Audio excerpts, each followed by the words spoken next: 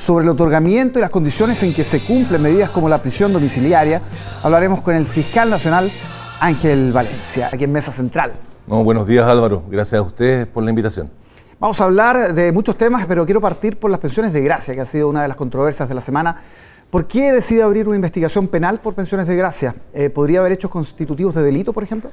Eh, mire, en cumplimiento de mis deberes constitucionales y legales, cada vez que hay información en la prensa que da cuenta de un hecho que reviste interés, en el cual la Contraloría General de la República ha emitido un pronunciamiento por razones de prudencia y de buena gestión, eh, suelo encargar requerir informes a las unidades especializadas de la Fiscalía para los efectos de que estas manifiesten desde el punto de vista técnico si no hay o no justificación para abrir una investigación. Solicité ese informe a la unidad anticorrupción y la unidad me reportó que efectivamente se había mérito para que iniciásemos de oficio una investigación porque había antecedentes de hechos que podían revestir caracteres de delito y por ese motivo había consideración de ese informe es que dimos, dispusimos la apertura de esa investigación fraude al fisco, alteración de instrumento público, ¿cuáles podrían ser esos delitos? Y podría haber también, por ejemplo, fraude de subvenciones, es decir, personas que entregaron información falsa con el objeto de poder acceder a alguna de estas pensiones, podría haber alguna prevaricación administrativa.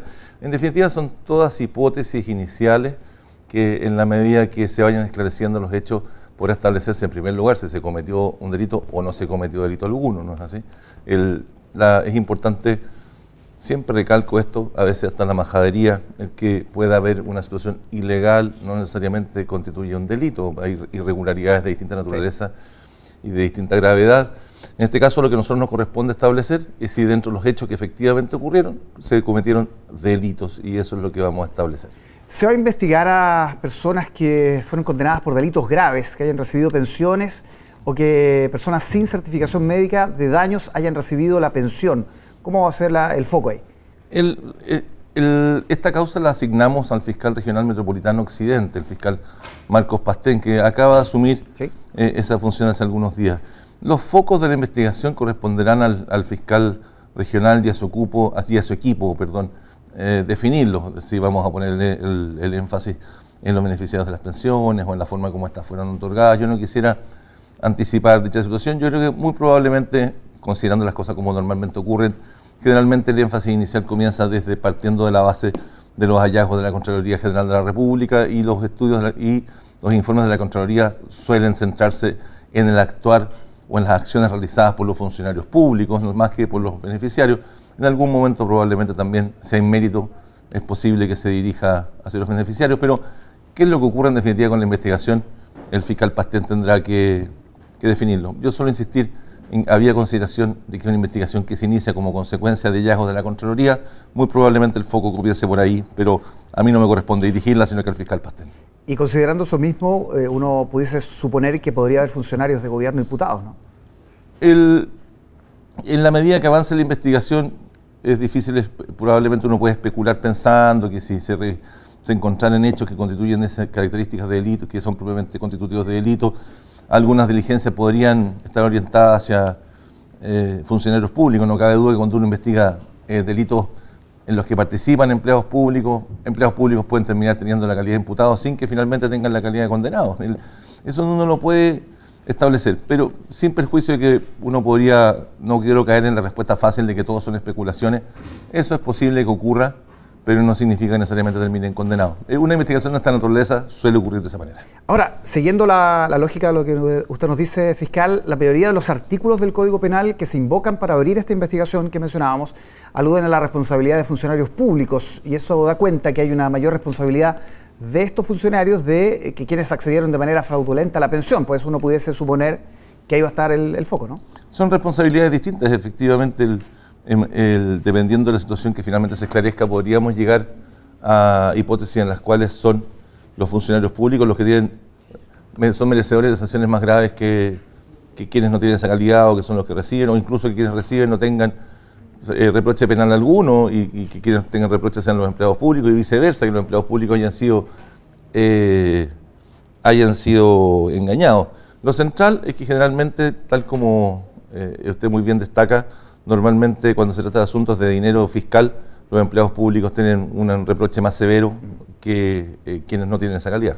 Ahora, en este clima de, inseguridad, esta sensación que, se, que aparece en todas las encuestas, ¿no? Parece ser una, una mala señal, ¿no? Entregar estas pensiones de gracia.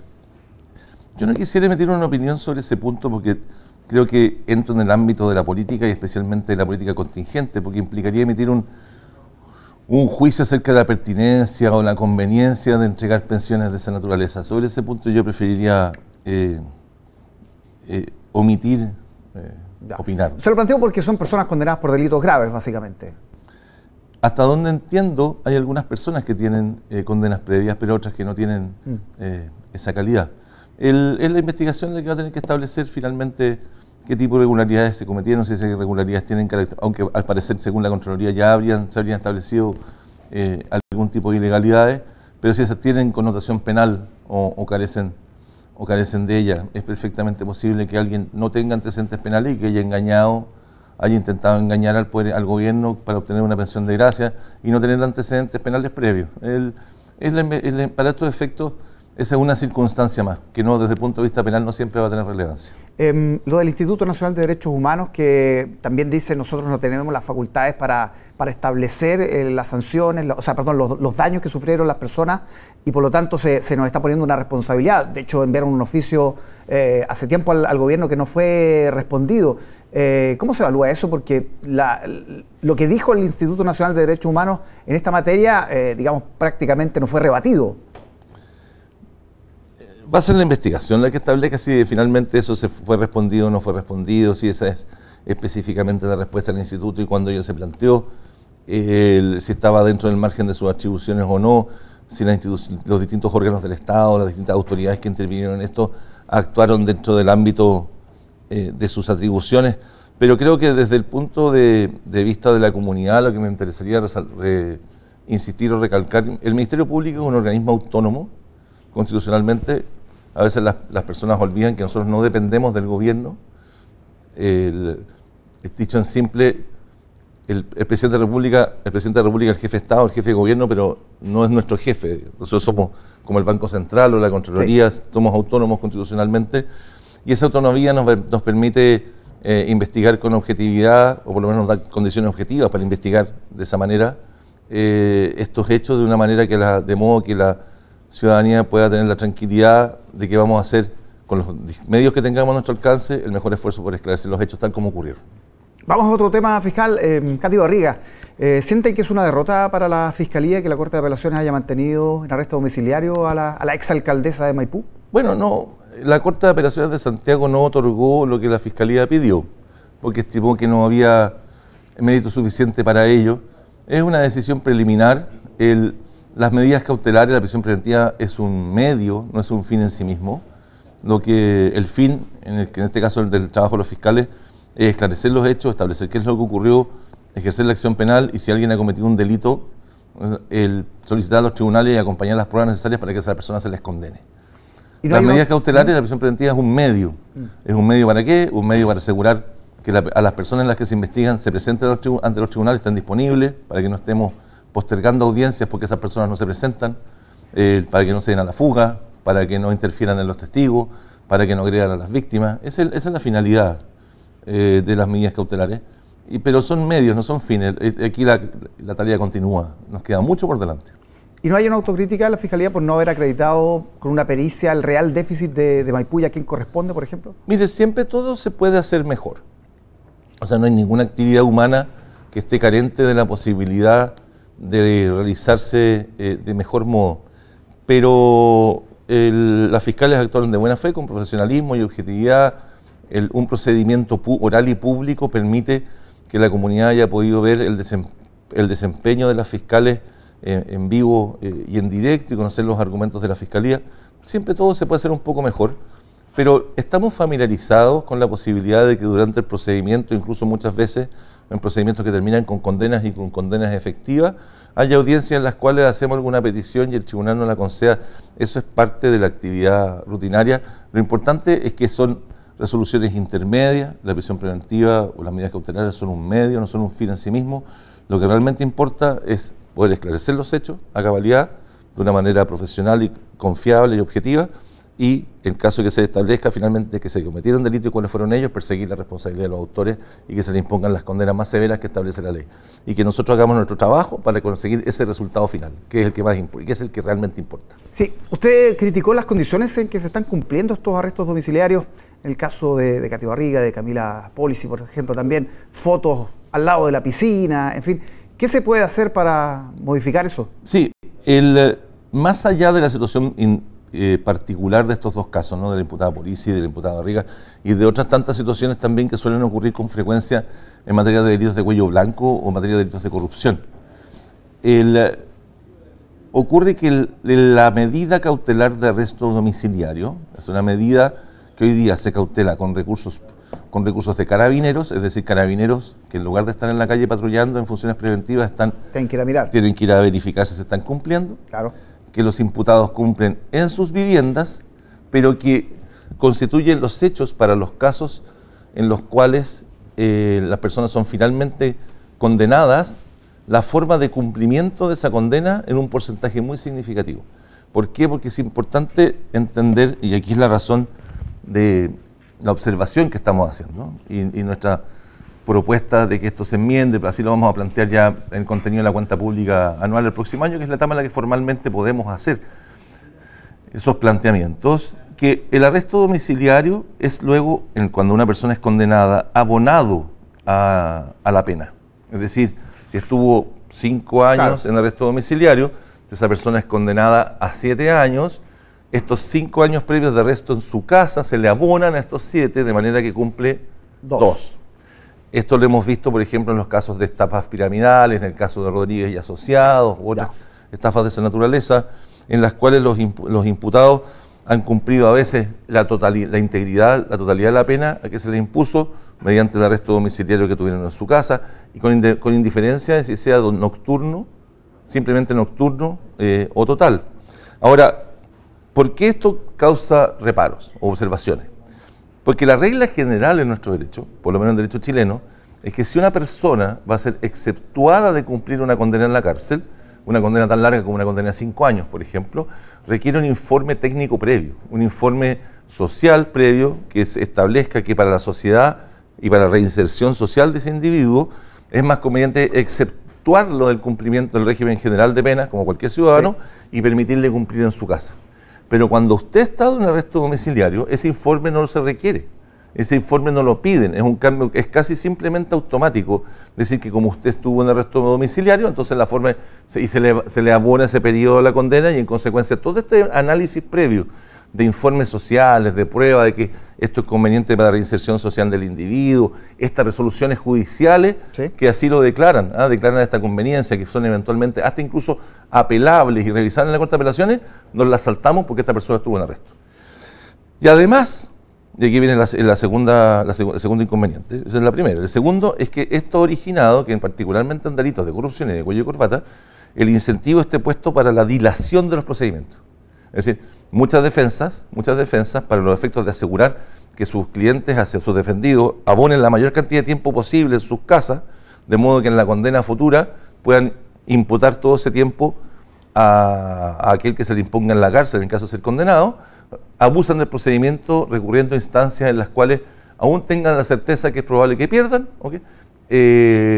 interponen recursos o requerimientos para asegurar, para, para dilatar el procedimiento. Ejemplo, el Tribunal Constitucional.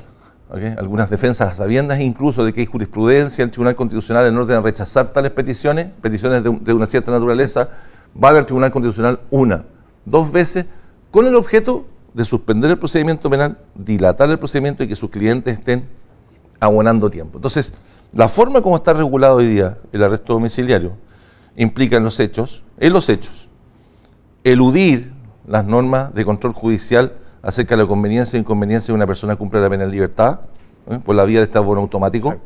Y segundo, dilatar los procedimientos indebidamente, estirando la decisión definitiva, y eso daña las posibilidades probatorias de la fiscalía, porque las víctimas se desincentivan, las víctimas pierden motivación, los carabineros son trasladados, etcétera, eh, postergando y más también dañando la posibilidad de que condenemos finalmente. ¿Y qué se hace entonces?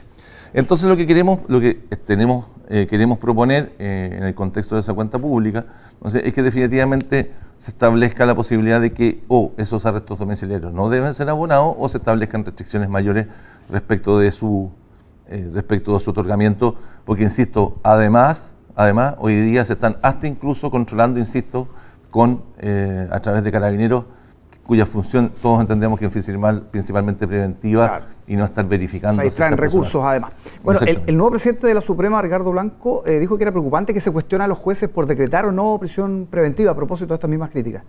Yo, el, a ver, me, yo me parece que las eh, instituciones nos debemos el respeto, mm, el respeto necesario para mantener la estabilidad del diálogo sano. ¿no? El, y el Ministerio Público, cuando interpone una apelación respecto a una resolución, eh, no está emitiendo una crítica a un poder del Estado, sino que simplemente está tratando de revertir una resolución judicial y entiendo que el, ministro Blanco no se está refiriendo a esa situación. Eh, y luego también cuando hacemos eh, un comentario, una observación respecto de una ley que está provocando efectos indeseados, tampoco entiendo, yo también entiendo que el ministro Blanco no, se refiere a esa circunstancia. Y yo entiendo que él se refiere a críticas que decían en relación con que existía un abuso eh, general de la prisión preventiva sin especificar si ese abuso venía de la Fiscalía, si ese abuso venía del Poder Judicial.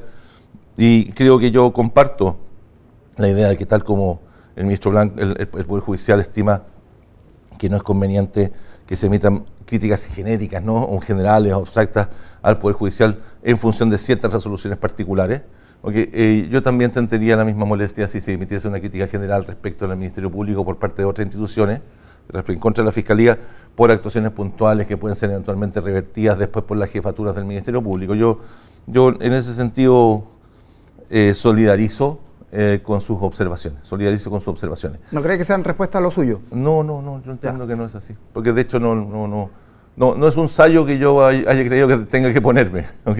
No, no, no tiene que ver con eso. Él, porque él, normalmente el Poder Judicial está familiarizado con la circunstancia de que si hay una resolución con la que no estamos conformes, nosotros vayamos a apelar y, y, por supuesto, de alguna manera, de manera alguna puede entenderse que constituye una crítica al Poder Judicial manifestar públicamente los fundamentos por los cuales creemos que esa solución debe revocarse.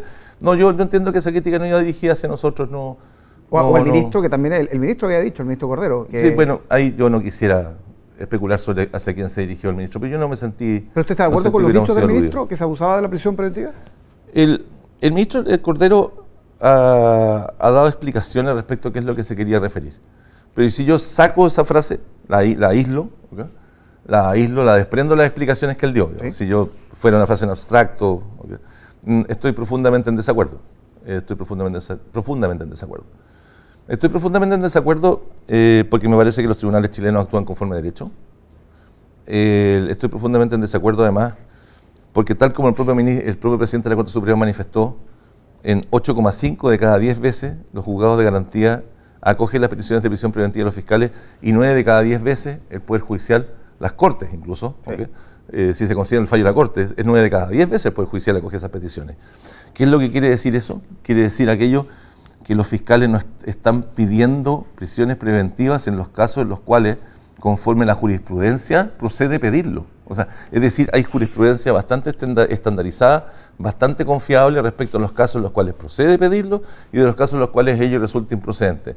Por lo tanto, los fiscales no están pidiendo de más, ¿ok? Ni tampoco los jueces ni tampoco enfrentamos una situación en la cual los jueces no estén acogiéndolas nunca, prácticamente nunca. Es decir, tiene bastante coincidencia respecto a los casos en los cuales los fiscales tienen que, que decretarla y en los casos en los cuales los tribunales entienden también que hay que concederla, con un margen de desacuerdo que es bastante prudente. Yo incluso hasta uno podría pensar que quizás la están pidiendo poco, porque si, si resulta que en uno de cada diez no nos están excediendo, quizás estamos siendo demasiado conservadores. Pero más allá de eso, me parece que no. Y segundo término, más que esta aproximación de la, de la prudencia con la que actúan los fiscales, están básicamente pidiendo cada vez que, conforme a nuestra jurisprudencia, procede. Mal podría haber abuso en aquello.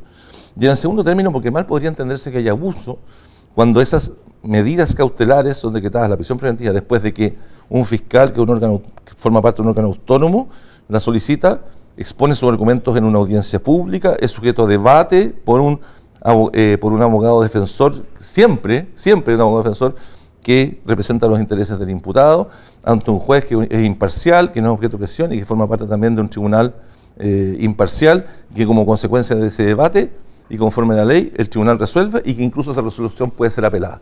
Yo no entiendo qué abuso podría haber en una situación de ese tipo. ¿Existe, cree usted, un dispar criterio de los jueces en los casos de corrupción? ¿Por qué se lo digo? Porque, ¿cómo se entiende que en el caso de Democracia Viva, por ejemplo, un fraude de 426 millones de pesos, sí haya prisión preventiva para los imputados, se les saque además con estos chalecos amarillos, con toda esa puesta en escena, y el caso Barriga, eh, el fraude podría ascender a 30 mil millones y está en la casa, haciendo yoga.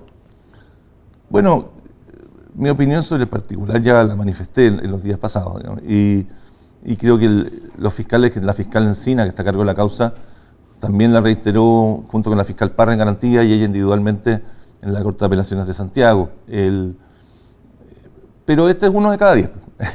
uno de cada diez casos en los cuales no compartimos opinión, pero es la forma como funciona un poder judicial en un sistema democrático.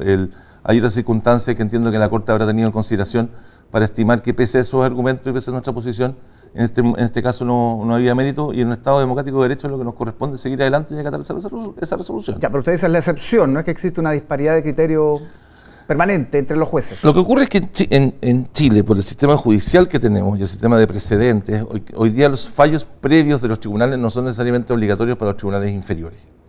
Por lo tanto, los jueces no tienen por qué todos fallar igual siempre y de la misma manera. Hay un, hay un margen en el cual los jueces pueden disentir eh, unos de otros en nuestro sistema judicial y los fallos previos de tribunales superiores no son necesariamente obligatorios para los tribunales inferiores. pero eso no me parece que sea eh, necesariamente negativo ni contra el Estado de Derecho ni nada, por el contrario. Me parece hasta saludable. Yo le quisiera, le quisiera decir que dentro de un cierto margen es conveniente que no estemos todos de acuerdo y quizás ni siquiera sería conveniente que estemos siempre todos de acuerdo. Ya que estamos en esto, fiscal, em, ¿qué viene en el caso Democracia Viva, estos casos de corrupción? Hay personas, parlamentarios que se preguntan cuándo se va a pedir el desafuero, por ejemplo, la formalización de la diputada Catalina Pérez. ¿Qué nos puede adelantar? Lo que les puedo adelantar es que estas causas las hemos investigado de manera coordinada a nivel nacional eh, desde que esto se inició. Dijimos que pasábamos a una segunda etapa de esta investigación hace algunas semanas atrás, cuando, había, cuando ya conociendo el origen de los fondos, conociendo, teniendo yo una aproximación más cercana de cuántos fondos venían de los GORE, cuántos fondos venían eh, del Ministerio de Vivienda y del ámbito del Ministerio de Vivienda, decidimos entonces agrupar esas causas. Y hoy día hay causas agrupadas en distintos, de responsabilidad de distintos fiscales regionales y hemos agrupado causas asociadas a ciertas fundaciones a ciertos fiscales regionales. Lo que, lo que sigue ahora es continuar con las diligencias que están en curso. Probablemente van a haber algunas formalizaciones que no voy a avisar por televisión. Usted entiende perfectamente eh, que no podemos decir a quiénes. ¿ah? En pedir no hay engaño. claro, pero en pedir no hay engaño, pero, pero vamos a seguir avanzando en estas causas. En la causa, el, con la mayor eh, celeridad posible. Lo que ha ocurrido, claro, es que los montos fueron creciendo con el tiempo. Hoy día enfrentamos cantidades que son muy significativas hacia fundaciones que originalmente no teníamos también, que han incluido a fundaciones que originalmente no teníamos a la vista, eh, pero vamos a seguir avanzando con eso. Hablemos de seguridad porque se conoció esta semana el informe de homicidios. Tenemos un promedio ¿no? de 3,4 asesinatos diarios, que es una cifra bien, bien impactante si bien menor probablemente a los de los países de la región, pero no deja de impactar. Hay una leve baja, pero pareciera que en el último tiempo los casos van a empujar esa cifra hacia arriba, han dicho algunos expertos. ¿Cuál es su, mirada ahí?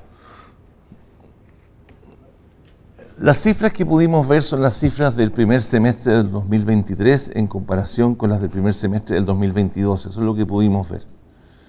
esas cifras de modo alguno pueden extenderse automáticamente, espontáneamente, de forma natural, como para entender que muestran de manera indubitada una constante que debería repetirse en el segundo semestre. No, no más bien tuvimos un, término, un término de segundo semestre y un inicio de primer semestre muy, muy malo.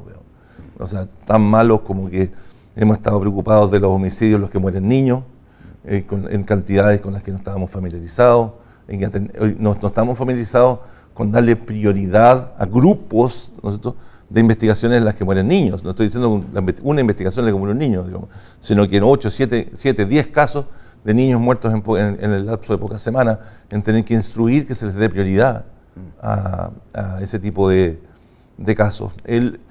esperamos tener el resultado del segundo semestre aproximadamente en marzo o abril, la razón por la cual nos toma algunos meses porque nuestros sistemas históricamente no estaban preparados para tener que entregar informaciones detalladas y precisas eh, en, en plazos breves para la toma de decisiones, pero hemos estado trabajando con la mayor rapidez posible para contar con eso. Yo solo hacer presente, porque alguien piensa que es poco tiempo, que cuando asumimos el año 2023 la responsabilidad de la Fiscalía, no teníamos en la cifra del 2021 los homicidios consumados. O sea, tuvimos que reconstruir el homicidio 2021, luego teníamos 2022, ahora ya tenemos primer semestre 2023, y teníamos también mejor información nuestra a partir del trabajo de los equipos ECO en terreno, de qué es lo que estaba pasando en las últimas semanas. por supuesto, eso hay que pulirlo, y para poder tener una cifra oficial siempre toma algunas semanas, pero estamos teniendo información periódica hoy día con la que, con que, antes, no, con la que antes no contábamos y que nos permite tomar decisiones más oportunas. Hemos visto em, dos casas de, torturas, del terror, dicen algunos ahí en Maipú, eh, grupos vinculados al tren de Aragua, ahí torturaban, mataban, en fin. Y uno se pregunta, ¿esto probablemente habla de una extensión de este grupo que tal vez no se había dimensionado por parte de la autoridad? Mire, no son solo dos casas de tortura, sino que además se encontraron dos casas en las cuales se mantenía, retenía a los secuestrados. ¿Ah? Eh, de lo que habla es de que los estamos deteniendo y los estamos encontrando, de que los estamos desbaratando. Eh, de eso de lo que habla ese tipo de hallazgos, de que estamos avanzando y que estamos desbaratándolo. ¿Cuánto podemos avanzar en eso? El tiempo dirá. ¿ah? El, efecto que eso produzca eh, en su actividad periódica, en la cantidad de secuestros que se cometen, en la cantidad de homicidios. Pero de lo que habla es que hoy día hay un fenómeno que tiene nombre y apellido, de que hay equipos que están trabajando para perseguir y desbaratar eh, esas bandas, de que hay un, problema que tenemos sincerado, un problema que la comunidad nacional ya tiene conciencia y lo más importante es que avancemos en, la profundización de la convicción, en, profundizar, la convicción de la necesidad de avanzar juntos y de manera más rápida con sentido de urgencia. Lo último, fiscal nacional, em, seguramente usted ha escuchado este debate, eh, lo planteó esta semana el alcalde de Estación Central, que es oficialista. Militares en la calle, ayudando a, carabineros. ¿Le parece que es una medida que debería tomarse? Eso me parece que es una medida del ámbito preventivo y que corresponde a las autoridades que están a cargo de la actividad preventiva, los responsables de la actividad preventiva, decidir si ello es procedente o no es procedente. ¿ah? Nosotros, una vez que se tome una decisión sobre el particular, el Ministerio Público va a trabajar en base a aquello que se haya resuelto. ¿ah? Eh, por supuesto, militares en la calle van a necesitar algún tipo de preparación mm. para poder recolectar evidencia, para poder tener claridad respecto de detenciones, no poder cometer errores involuntarios que estropeen procedimientos. Pero en el norte, por ejemplo, en el trabajo que se ha realizado en la, en las zonas limítrofe o en el resguardo de infraestructura crítica, las patrullas mixtas han tenido muy buenos resultados. Son patrullas integradas en que participan, estoy hablando de la zona fronteriza, en las que participa un funcionario de carabineros, pero con funcionarios de, eh, del ejército o de, las Fuerzas Armadas, que permiten compartir experiencias de manera que el, policía experto, el funcionario experto, que el policial, en este caso, nosotros, tiene, puede supervisar el trabajo militar. Pero sobre ese punto no quisiera extenderme, no, es una actividad que tiene que, en definitiva, el Poder Ejecutivo resolver. Bien, fiscal nacional Ángel Valencia, muchísimas gracias por acompañarnos esta mañana aquí en Mesa Central. No, muchas gracias a usted, pues, Álvaro. Que esté muy bien. Que esté muy bien. Nosotros hacemos una pausa y ya regresamos con nuestra mesa de análisis. No se vaya.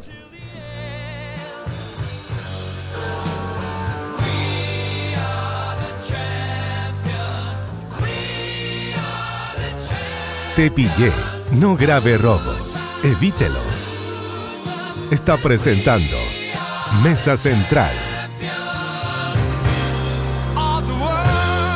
11 de la mañana con 37 minutos, estamos haciendo el último mesa central de enero y vamos a revisar ahora información fresca, información que tiene que ver con la nueva encuesta de Pulso Ciudadano. Tenemos ahí algunas láminas para revisar lo que ocurre, por ejemplo, con la aprobación del presidente Boric, que llega a un 27% versus un 60,4% de desaprobación. Aumentó precisamente la desaprobación al mandatario en esta última encuesta. Tenemos también otros resultados, preferencias presidenciales, algunos nombres, los candidatos. ¿Qué pasa con Evelyn Matei, por ejemplo? Llega a un 17,8%, que representa una caída eh, de casi 5 puntos respecto a lo que marcaba en diciembre, que eran 23. José Antonio Cast en el segundo lugar con 13,3, baja un poquito respecto a los 14 que tenía en diciembre. Sebastián Piñera, mira, tenía 7,8 en diciembre, sube a 11,1 ahora en enero es el que más sube, de hecho, hasta ahora. Michelle Bachelet tenía 9,3 en diciembre, 6,8 baja la ex mandataria 2,5 puntos ahora en el mes de enero. Camila Vallejo, la vocera, sube 8 em, décimas de 4,3 a 5,1 ahora en enero. Franco Parisi, el líder del PDG, baja de 2 a 1,7. Y Carolina Toá, la ministra del Interior, sube de 1,3 a 1,5. Eh, pese a que hay algunas otras encuestas que han dicho que de alguna manera la ministra del Interior, la encargada de la seguridad, ha sufrido alguna baja producto de la crisis en seguridad. Vamos a conversar con ella más adelante aquí en Mesa Central. Y también tenemos otra lámina que tiene que ver, claro, con un tema candente de esta semana, preferencias en el sistema de pensiones. Claro, y cae el apoyo al sistema mixto, que está ahí en la línea azul, cae de 34,3 a un 30,9% y sube el de capitalización individual, ¿no? Que es de 32,4 en la última medición a un 35,9. ¿Qué pasa con el reparto? Se mantiene eh, bastante más abajo.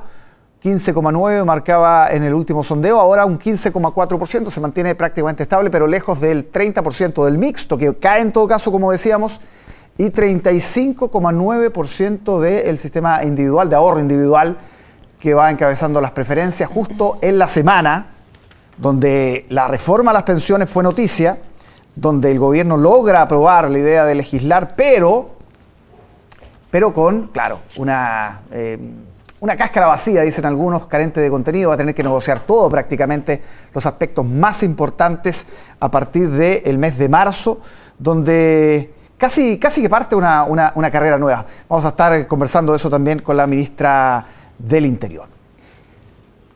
Y nosotros ahora llegamos a nuestra mesa de periodistas, mesa de análisis. Saludamos a Quique Mujica. ¿Cómo estás, Quique? Bienvenido. ¿Qué tal? Muy buenos días. Claudia Álamo, ¿cómo estás? ¿Qué tal? Muy buenos días. Bienvenida, Claudia. Para hablar, en tu caso, de la reforma de las pensiones y lo que pasó con una de las cosas más comentadas de la semana, que es lo de Diego Ibáñez, ¿no? Danos un adelanto. Sí, sí. Eh, efectivamente, bueno, sí, el gobierno está jugándose, ¿no es cierto?, el pellejo, así literal y en buen chileno.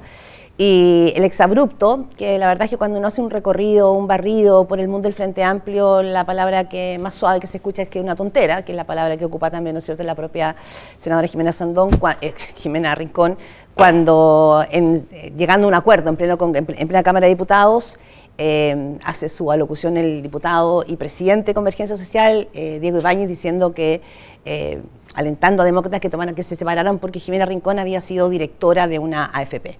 Esto ha generado mucho movimiento interno y vamos a hablar de eso, de lo que se trasluce. Esto puede ser un exabrupto, pero la pregunta es, ¿hay algo que esté movilizando estas aguas como golpea? Y yo creo que hay algunas cosas ahí por, por detectar que ya se las contaré. Que ya vamos a profundizar. Y Quique nos viene a explicar con muchísimos papeles qué pasa con las pensiones de gracia.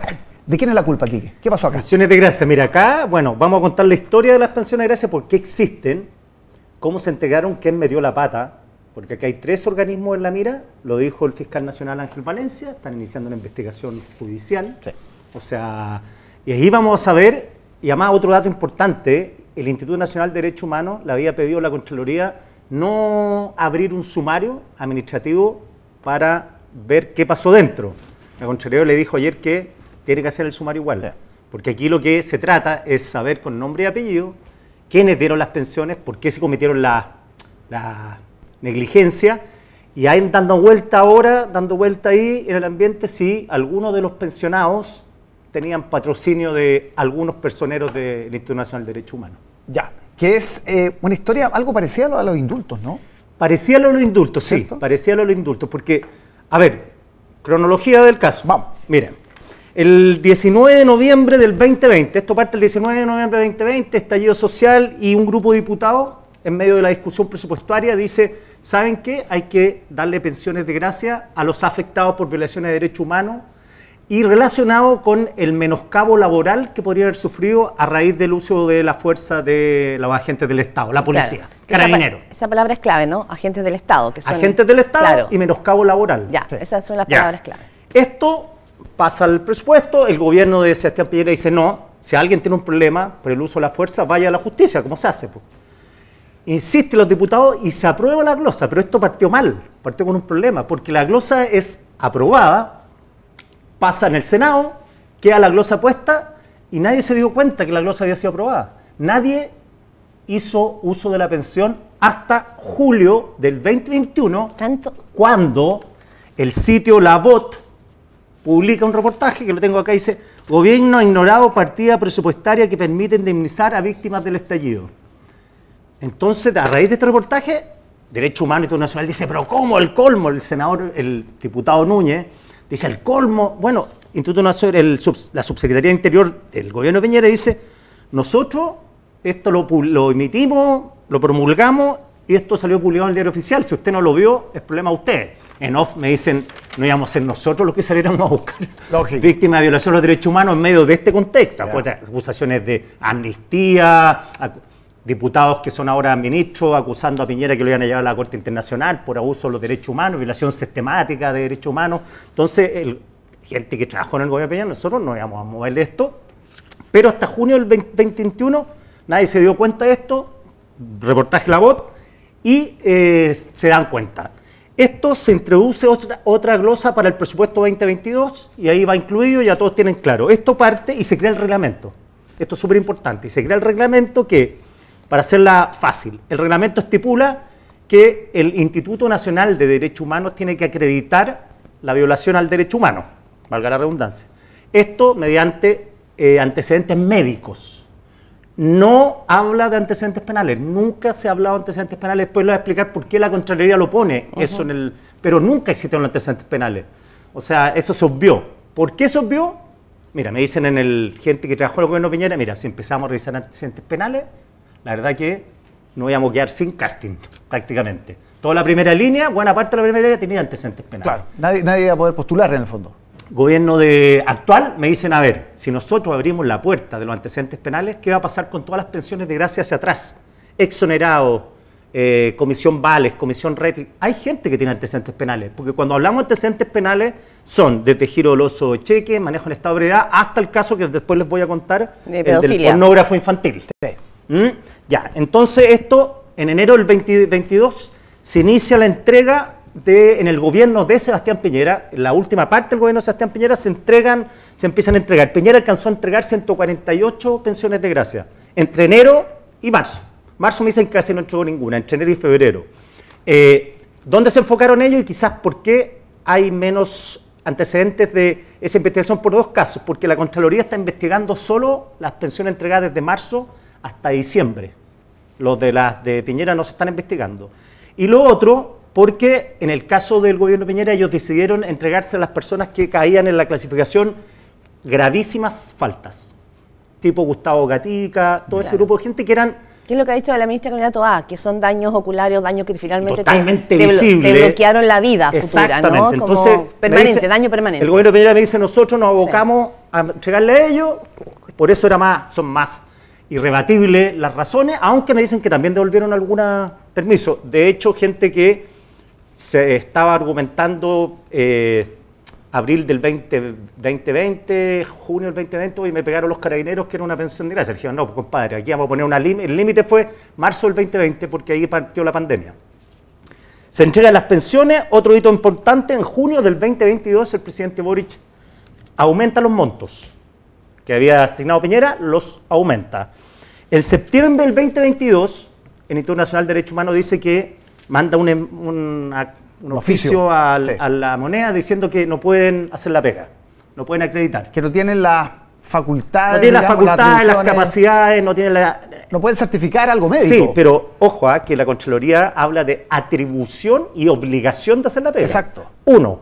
Dos, ya habían entregado 150 pensiones a septiembre. O sea, ¿cómo...? Ahí, se acordaron. Claro, claro. Después de entregar 150, tú decís, ya, me dieron la pega, acepté, mm. entregué 150. Y ahora no tengo la no, Y ahora sabes que no lo puedo hacer. Claro. Me dicen desde el gobierno actual que era una manera de sacarse el pillo, de alguna manera, para la próxima glosa del 2023, porque justo en ese periodo se están discutiendo los presupuestos. Oye, coincide además con un periodo bien turbulento en el Instituto Nacional de Derechos Humanos. Claro, Claro, pero no solo del derecho humano, era, era eh, del país. sí, además. Realmente en este caso a Sebastián Piñera lo que le pasa es que cuánta, cuánto margen tenía para poder haber rechazado esas pensiones. Es lo que te dicen eh, las personas del, del, gobierno de Sebastián Piñera. Claro. Octubre del 2022, el gobierno conoce los antecedentes preliminares de este informe que está haciendo la Contraloría.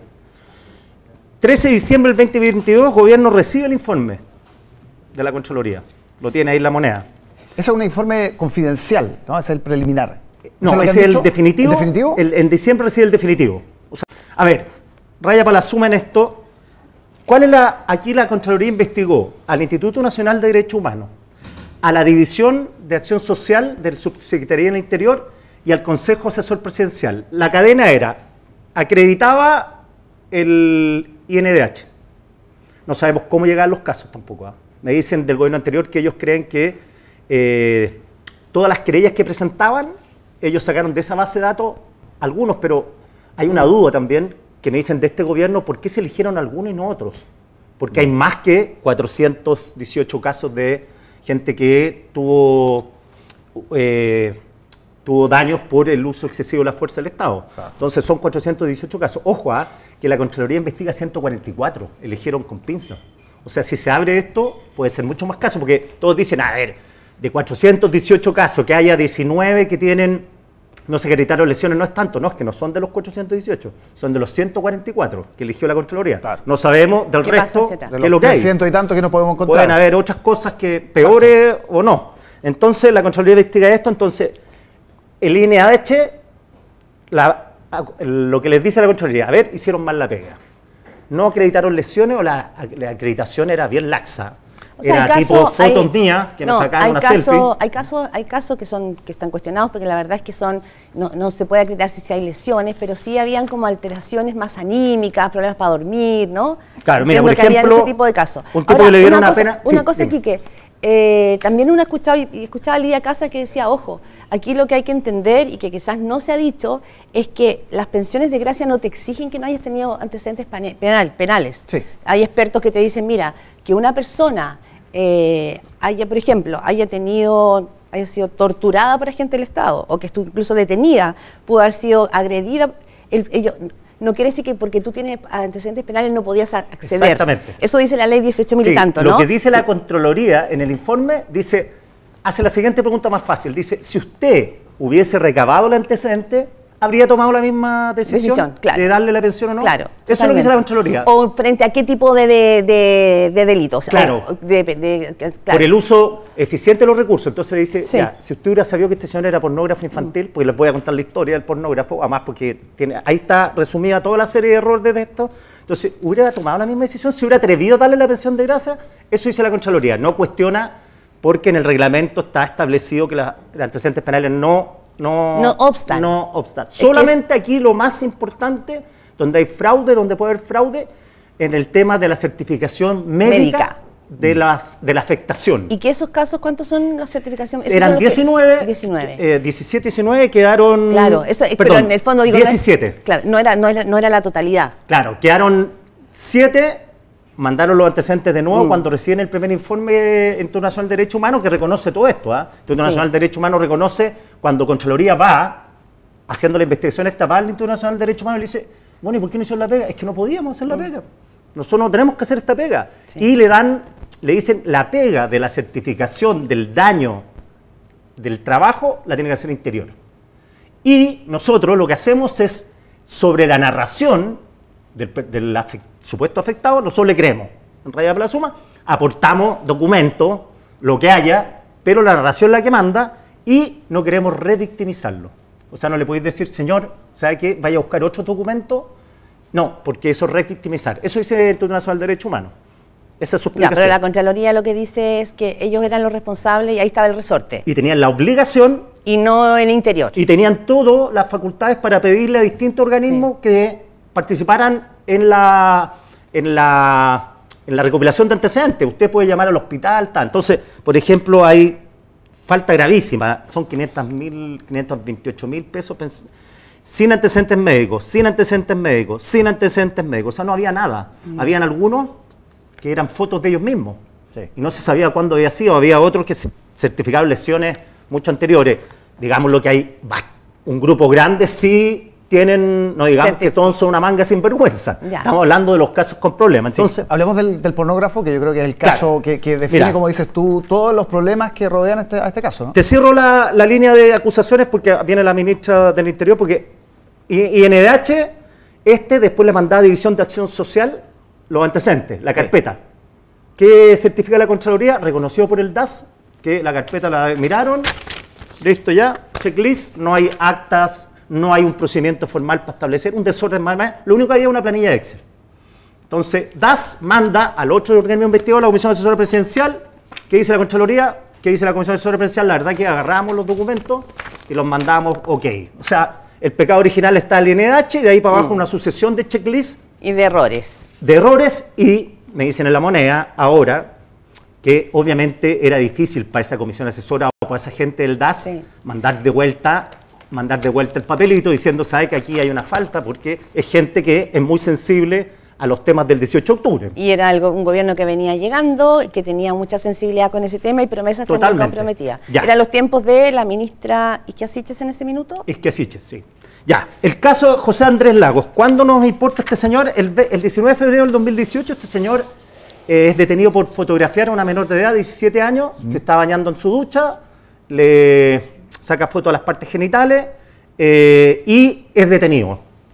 Se abre una causa penal y yo les voy a contar qué pasa después. Ya, saltamos 19 de febrero del 18, cuando aparece este señor Lago en nuestra, en nuestra bitácora.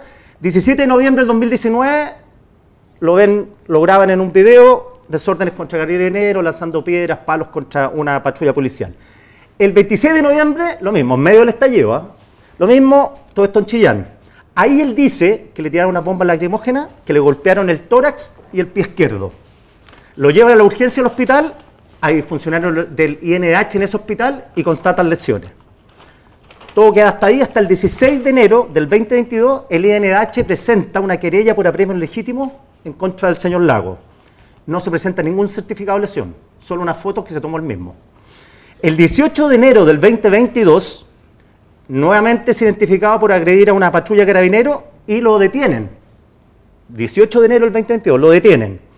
Eh, Fiscalía de Chillán solicita prisión de 270 días de reclusión menor. En abril del 22, y aquí está lo clave, en abril del 22 el Ministerio Público cierra la causa, eh, perdón, en abril del 2022 el Ministerio Público dice al ENH, cierro la causa, no hay antecedentes, usted me aportó una foto, pero con eso no, no puedo hacer nada, así que señor Lago... No es prueba.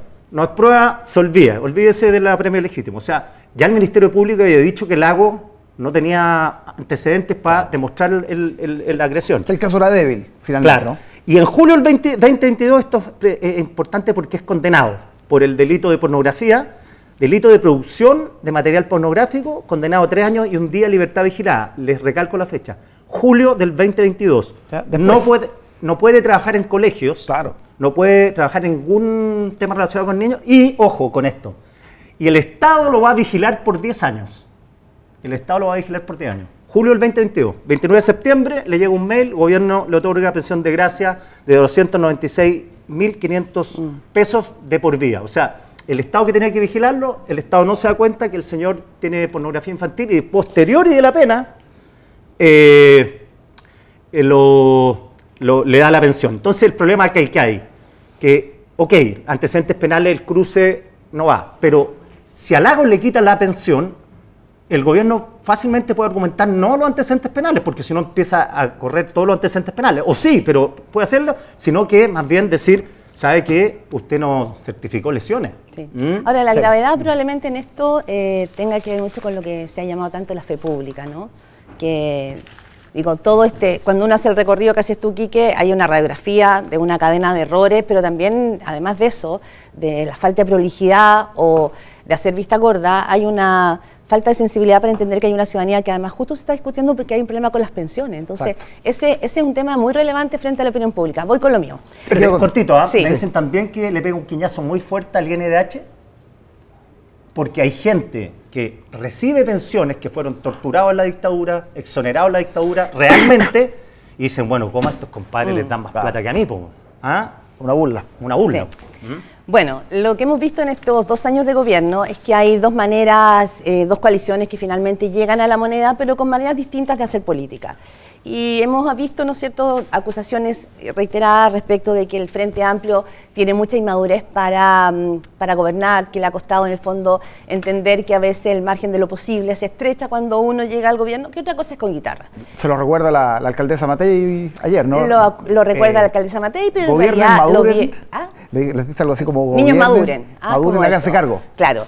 Bueno, pero ese, ese finalmente es un argumento que viene dándose desde muy comienzo y lo nuevo que está pasando y que probablemente cristalizó el episodio del diputado Diego Ibáñez, presidente de Convergencia Social, el partido del presidente, es que más que un traspié, es un traspié, todos dicen es una tontera lo que hizo, pero tiene consecuencias, y tiene consecuencias políticas, porque en ese minuto pudo haber roto todo el trabajo y el deslome de la ministra Janet Jara y del ministro Mario Marcel en una reforma que hoy día hay coincidencia al interior, al menos de la Fuerza del Frente Amplio, que puede ser la única gran reforma que pueda mostrar este gobierno. El legado.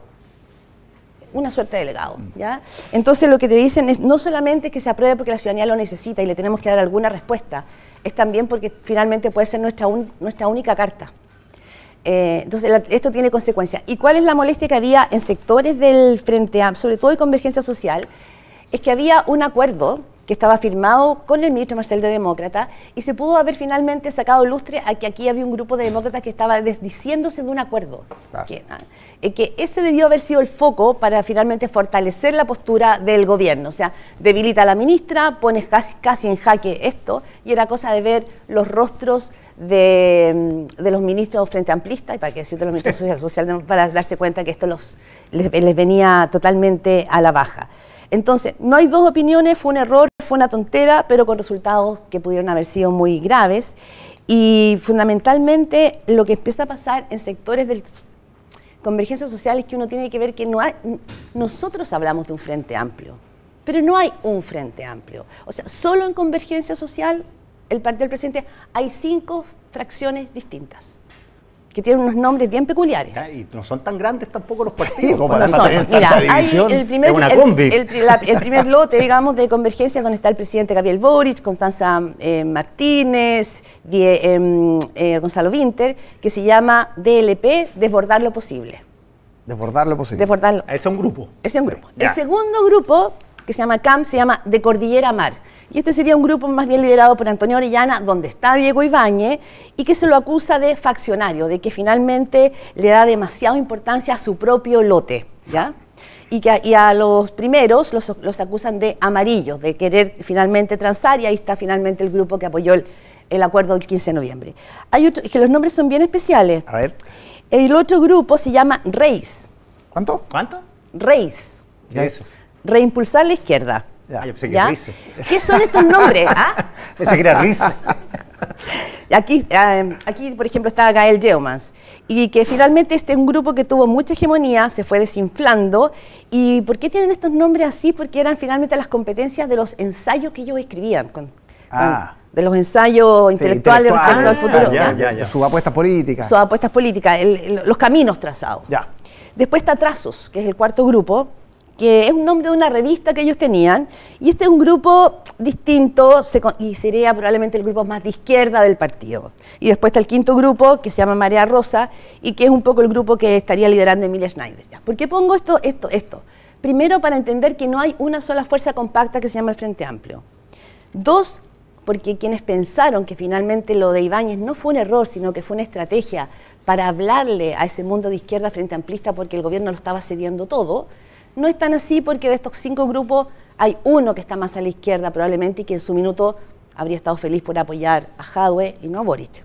Eso es importante saber que no hay un liderazgo que hoy día eh, inspire a toda esta coalición. Segundo, hay una molestia que ronda, sobre todo en el mundo Frente Amplio, porque dice, ¿sabes qué? ¿Hasta cuándo nos van a seguir diciendo que somos los niños, los inmaduros? Si uno hace un promedio de la bancada del Partido Socialista en la Cámara de Diputados, probablemente son más jóvenes que muchos diputados del Frente Amplio. O sea, la, bancada del Partido Socialista, no la, no la bancada del Senado. Claro, es verdad, porque hay gente que. Entonces, sub, 30, ¿y, por, qué a ellos los ponen en la categoría de. ¿Por qué a ellos los ponen en la categoría de ser los herederos del lago, los que irradian mm. sabiduría y experiencia, y a nosotros nos ponen en la categoría, comillas, de lastre, como alguna vez dijo el rector Carlos Peña? Entonces, hay ahí una, una venita que se está inflando. ya. Y cuando uno quiere bucear para decir, a ver, ¿qué es lo que está de fondo? Acá hay porque los exabruptos en la vida, como en la psicología, siempre vienen de algún lugar. Claro. Y esto viene de algún lugar. Hay diputados que dicen que lentamente en las últimas semanas ha ido acrecentándose un disgusto, y no es con el gobierno, es con la derecha. Una sensación transversal en las bancadas jóvenes de decir, ¿saben qué? Es verdad que nosotros cuando éramos oposición fuimos, fuimos duros, pero el presidente ya lo reconoció, lo hemos reconocido todos y, lo que, y, efectivamente estábamos con los puños en alto. Pero al llegar al gobierno, bajamos los brazos y hemos empezado a transar cosas, la permisología, te empiezan a dar una lista de cosas que ellos han empezado, incluso este proyecto de reforma, de reforma previsional. La aprobación de los bronces. hemos, pero la izquierda, la derecha nos sigue pegando y no hay fair play posible. Entonces, hay una idea de que tendrían que constituir una narrativa comunicacional o una estrategia que permitiera decir, ¿saben qué? Ok, pero no nos vamos a seguir arrinconados, sometidos, tenemos que también nosotros salir, en el fondo, a la ofensiva porque dicen que la discusión que hubo en reforma previsional en el Congreso tenía muchos tonos de, comillas, guerra fría, es decir, una derecha que les recriminaba casi que aquí se estatizaba todo, y que no era así. Por lo tanto, hay, un, hay, un, hay, pues, hay una pulsión. Delicado de cutis, ¿eh? ¿Ah? Delicado de cutis, después de la, de, lo, de la choreza que, que fueron cuando eran oposición. Claro, pero dicen, bueno, fuimos oposición, fuimos duros. Sí asumimos, pedimos perdón, hemos bajado los brazos, hemos aceptado leyes que... Hemos transado. Comillas, como, dice, como se dice en el lenguaje político, hemos comido los sapos que debería hacer, pero aún así, pero aún así nos siguen pegando y la derecha sí no nos da no nos da tregua, y no, nos da, leyes. y, es lo que dice hoy día la ministra Jara, ¿no? Nosotros ya cedimos, le toca ahora a la, a la, oposición, deja el mensaje instalado para marzo y es ahí donde te quiero preguntar cómo viene la mano en marzo. Ah, no, es que probablemente ahí no, yo creo que no lo sabe nadie, ni la ministra Jara, seguramente cuando lo dice en la entrevista, o sea, eh, comienza todo de nuevo. Comienza en, de cero. En, marzo comienza todo de nuevo. Lo pasa Walker mandó decir que esto partía de cuatro a individual y dos a lo que sea. Pero no sabemos, porque finalmente, efectivamente, lo que llegó es la idea de, es la, idea de legislar, pero no sabemos cuáles son las fórmulas que se van a llevar mm. adelante eh, en el Lo que sí te dicen en la moneda es que hay dos puntos que van a estar sí o sí. Eh, longevidad. El tema de la longevidad probablemente va a estar ahí eh, sí o sí puesto. Eh, y la PGU. Pero no sabemos cuál va a ser la fórmula. Lo que sí sabemos, y que el Frente Amplio, escondido te dicen, es que se le olvidó al diputado Ibáñez que, que, esto que llegue va a llegar al escritorio de una senadora también. Claro, que va a votar. Que va a votar. Y que, y lidera un partido. Que, se llama Jimena Rincón y, que, se ha dedicado ¿ah? todos estos días a recordarle que no le ha pedido disculpas. Sí, no, no, y, articular, ¿ah? articular, porque ella va, a tener que ordenar a todo ese sector, porque sabemos la, distribución de los votos, el gobierno tiene máximo seguros, ¿cuánto tendrá? 18. Después tiene que entrar al mundo independiente, tendrá que conversar ahí con a Karim Bianchi. Karim Bianchi, te iba a mm. decir, Karim Bianchi, Fabiola Campillay, en fin. Eh, y ahí el rol que puede tomar Jimena Rincón va a ser muy importante. Bueno, y también lo era también en la Cámara de Diputados con Demócrata. Lo que te dice Frente Amplio es que eh, ellos, o en este caso el diputado Ibáñez, no entendió que en Demócrata está en curso, dicen ellos, una fisura al interior de Demócratas. Que lo que los diputados demócratas querían, pensaban y apoyaron al gobierno no era lo que Jimena Rincón quería. O sea, si efectivamente está en curso eso habrá que ver. Pero ¿qué viene, qué viene en marzo? Eh, en la no tenemos idea. Yo creo que no se puede hacer política ficción de, una, de un gobierno que tiene no solamente minorías, sino que tiene finalmente también sus filas muy desordenadas, pero hay una sola claridad en el oficialismo, que si queda algo por llevar adelante, eso se llama la reforma previsional. Y no solo frente a la ciudadanía para, para desactivar. Yo hice una entrevista muy interesante a un tipo que se llama Daniel Sobato, que es un politólogo, y que él habla de esto. Dice, y conoce Chile. Y dice, vivió cinco años acá, dice, ojo, si miramos todas las condiciones que permitieron Bukele, que permitieron Milei, Chile no está tan lejos. Crecimiento económico, una clase política que no tiene eficiencia ni eficacia para darle resultados en su cotidiano. Delincuencia desatada. Delincuencia desatada, crimen organizado que viene bajando como mm. cascada. O sea, él dice, si hace un ILVAN, todas las razones que han permitido que ganara en las últimas elecciones tres, en tres países, Argentina, Paraguay y, mm, ¿qué me olvidó el otro? Em, la derecha tiene que ver con que finalmente el hastío y el malestar... Bueno, Ecuador. Ecuador. Ecuador, y Ecuador, perdón. Entonces no tiene que ver con eso. Entonces, hay, da, vuelta a eso y eso está dando vuelta también a sectores de la derecha que dicen, ¿sabes qué? También quizás tenemos que abrir alguna compuerta porque la olla a presión puede ser muy alta. Sí. Se queda un punto contigo, Quique, que tiene que ver con Monsalve, ¿no? Que eh, hasta ahora la derecha siempre lo ha tratado con guante blanco de alguna manera en todas estas crisis. Ahora no. Lo que pasa, claro, lo están apretando por el tema de las pensiones. lo que le responde al, subsecretario viene por la, la, División de Acción Social. Esa le reporta él. Y eso es lo que no hicieron en el trabajo, el, punto 2. Mm. Y NDH le mandó a estos señores, estos señores agarraron esto y no visaron, no certificaron. Además, un desorden bastante alto, dice la Contraloría. ¿eh? Hay, no hay actas de las decisiones. Entonces, al final, lo que decía, checklist nomás, checklist. Entonces, por ese lado va el tema de la pensión, porque recordemos que son 10, 10 pensiones mal entregadas por eh, laxitud en los antecedentes, y lo otro aparte que son 58 casos antecedentes penales, pero eso, como digo, no era un requisito para darla o no darla. Entonces, al final, eso es distinto a lo de las lesiones. Vamos a ver cómo, sigue todo esto. Quique Mujica, Claudia Álamo, muchísimas gracias por acompañarnos. hay un punto político respecto a la figura de Monsalve, es lo que tú dices. No es solamente muy respetado, es un puente para sectores de la derecha. Y como te dicen el Partido Socialista, Monsalve representa aquello que se llama el inconsciente socialista. Oye, para, para hojas Es decir, gobernar sabiendo que muchas veces vas a tener que hacer cosas que van totalmente contramano de lo que tú crees, pero que gobernar es más importante. Perdón, paradojas de la vida, la solicitud de pensión de gracia, cuando parte esto el 2020, la firma Núñez, la firma Jackson. Y también Monsalve. Monsalve. Monsalve también. bueno, Claudia, aquí que muchísimas gracias. Que muy bien. Buen fin de semana. Nosotros vamos a hacer una pausa y al regreso. Somos Anglo American, hacemos minería, producimos cobre desde la innovación y desde la colaboración, porque el cobre es esencial para enfrentar el cambio climático y solo a través. Gracias. Cerrando este ciclo, además, con nosotros. Em, ¿Cómo se evalúa lo de las pensiones de gracia en la moneda? ¿Es una crisis? Es una situación indignante en primer lugar. Las pensiones de gracia se formularon para entregar una reparación a las personas que sufrieron daños graves durante el estallido. Y que esto termine, la discusión que estamos hoy día, es porque ese proceso tuvo falencias, sin duda alguna. Entonces, ¿cómo lo vemos nosotros? En primer lugar, como una situación indignante, en segundo lugar, como una situación que hay que corregir. Por eso es que hemos estado abocados las últimas semanas, los equipos, a revisar los casos que originalmente generaron la alarma, que eran aquellos con antecedentes penales. Se ha hecho un trabajo muy exhaustivo, teniendo ahora sí ya la información completa. Originalmente no se podía acceder a ella, hoy día sí. Em, y eso va a traducirse en los próximos días en que un número, a ver, todavía hay que revisar, el presidente tiene que hacer la última revisión, pero ya hay un número seguro de 25 pensiones que se van a dejar sin efecto eh, y otros casos más que todavía tienen que revisarse. Pero además, después de esto, se tiene que corregir este procedimiento futuro y el presidente nos ha instruido que en aquellos casos en que no hay tema de antecedentes penales, igualmente se haga una revisión, carpeta por carpeta. Ahora, quiero decir que en el tema de los antecedentes penales lo que hubo es que ningún procedimiento de otorgamiento de pensiones de este tipo consideraba este aspecto. Ahora no, nos pidió el presidente que revisáramos las otras pensiones. Hay 18.000 pensiones en Chile de este tipo. La del estallido son 418, pero hay 18.000 más. Y al mirar, por ejemplo, una muestra, se hizo con los portuarios una muestra, todavía sin los antecedentes completos, porque esos no son accesibles salvo que haya algunos elementos adicionales. Ya ahí el 10% tiene antecedentes penales. Entonces, es posible que esto haya estado pasando por largo tiempo porque no estaba contemplado revisar los antecedentes penales. Pero en el transcurso de este debate se ha ido viendo que el proceso requiere una revisión más profunda. Eh, el origen de esto, Álvaro, eh, es bien complicado porque se, se, logró en el Parlamento aprobar eh, que hubiera una glosa para esto después de un debate que no llegó a acuerdo y se aprobaron dos glosas. Es una cosa insólita que una ley tenga dos normas distintas para un mismo objetivo.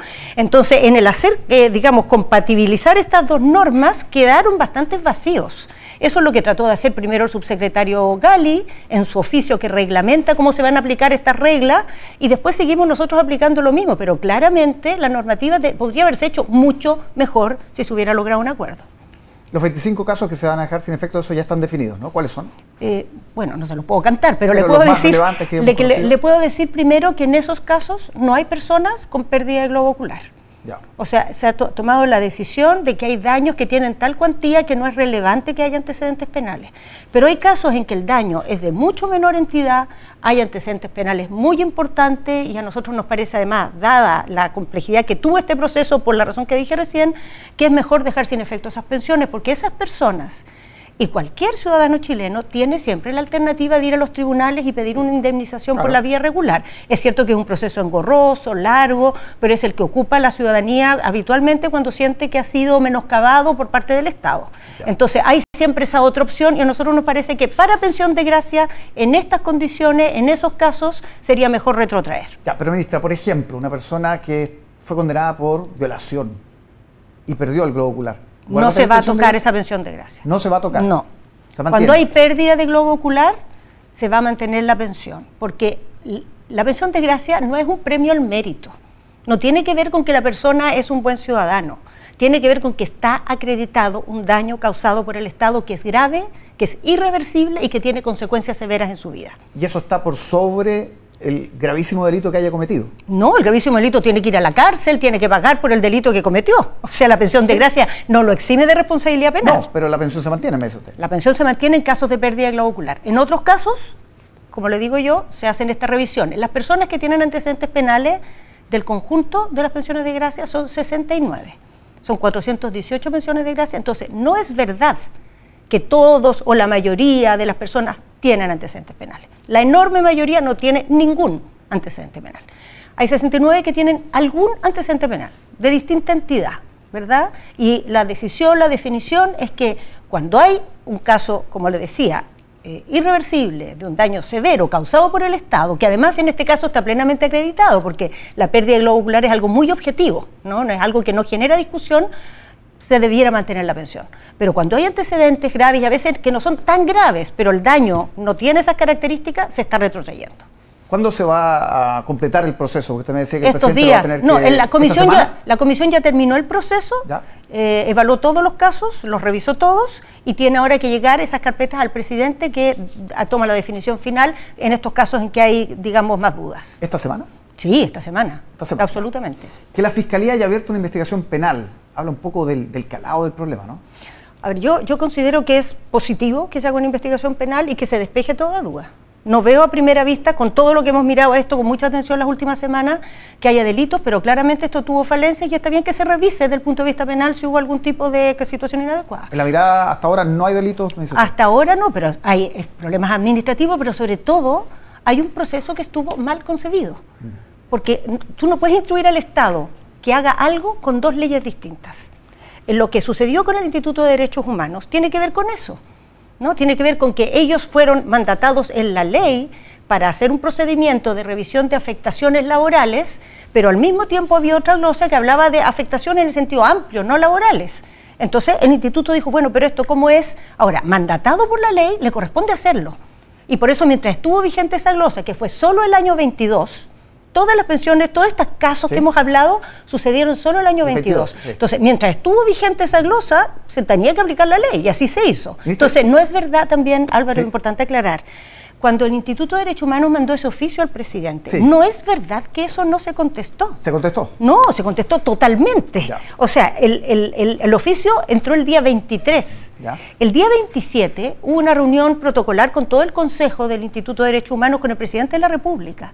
Y ahí los integrantes le plantearon esta inquietud al presidente. El presidente instruyó que se, se hicieran instancias de trabajo con el instituto, se hicieron una serie de reuniones, se escucharon las aprensiones del instituto, pero se se llegó a la conclusión, que es la misma a la que llega la Contraloría, que se tenía que cumplir la ley, que la ley mandataba al instituto a hacer esta calificación y que tenía que hacerla hasta que la ley no cambiara. De hecho, el año siguiente cambió. Que no tienen las atribuciones, que tienen los conocimientos. Pero es que sí, sí las tienen porque la ley de presupuesto los instruye a hacerlo. Tienen un mandato legal. Usted va a escuchar muchas veces, todos escuchamos muchas veces, por ejemplo, a los municipios que dicen que se les entregan tareas que para ellos son difíciles, que tienen dificultades. Bueno, pero las tienen que cumplir las tiene que cumplir porque la ley los mandata. Entonces aquí la ley instruyó eso, una ley que no dictó nuestro gobierno, que se dictó en la administración anterior, eh, además producto de este malentendido en que se dictaron dos normas, no una. Entonces le corresponde al instituto cumplir el mandato. Ese examen llegó a esa conclusión. Y el año siguiente ya no se repuso esa, esa, eh, mientras se daba esta discusión ya la ley de presupuesto se había presentado, pero después en la discusión se echó para atrás y no se mantuvo esto precisamente porque había todo este debate y ya los casos, digamos, que se habían, habían solicitado ya se habían tramitado. Ahora, pese a este oficio, que usted me dice que esto es nuevo, digamos, que se respondió, se había dicho que no se había respondido, se siguieron validando las eh, pensiones de gracia, pese a que el Instituto Nacional de Derechos Humanos estaba gritando, diciendo en el fondo que ellos no tenían la, la atribución. Álvaro, es que, a ver, hay, hay un mandato legal uno tiene que cumplir la ley. Hay un mandato legal que dice los casos que vienen con un certificado de afectación del Instituto de Derechos Humanos deben tramitarse eh, en esta solicitud de pensión de gracia. Ya la mitad de los casos se habían procesado a esa altura. Entonces no hay ninguna razón bajo la misma ley que unos se procesen y otros no.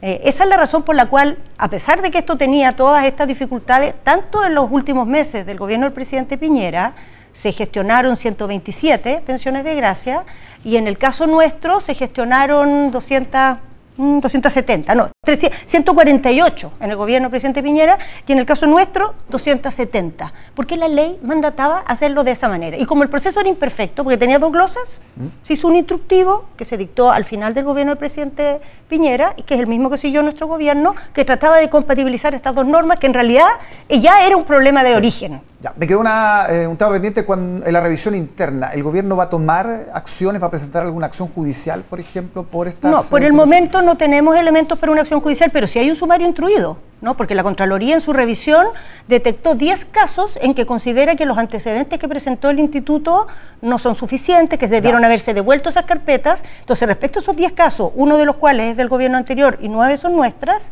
eh, se tiene que hacer eh, un sumario y identificar si hay algún tipo de falta administrativa. Y, por ejemplo, querellas contra quienes hayan postulado el beneficio de manera fraudulenta, evidentemente con eh, estas fotos que... Sí, si llegamos, el presidente nos instruyó que revisáramos todas las carpetas. Si llegamos a la conclusión de que hay un elemento de ese tipo, sin duda lo vamos a hacer. En este momento no tenemos evidencia de ese tipo respecto a las carpetas que hemos conocido. Es verdad que la ley no, no pone como requisito ¿no? esto de los antecedentes penales, pero tampoco lo prohíbe.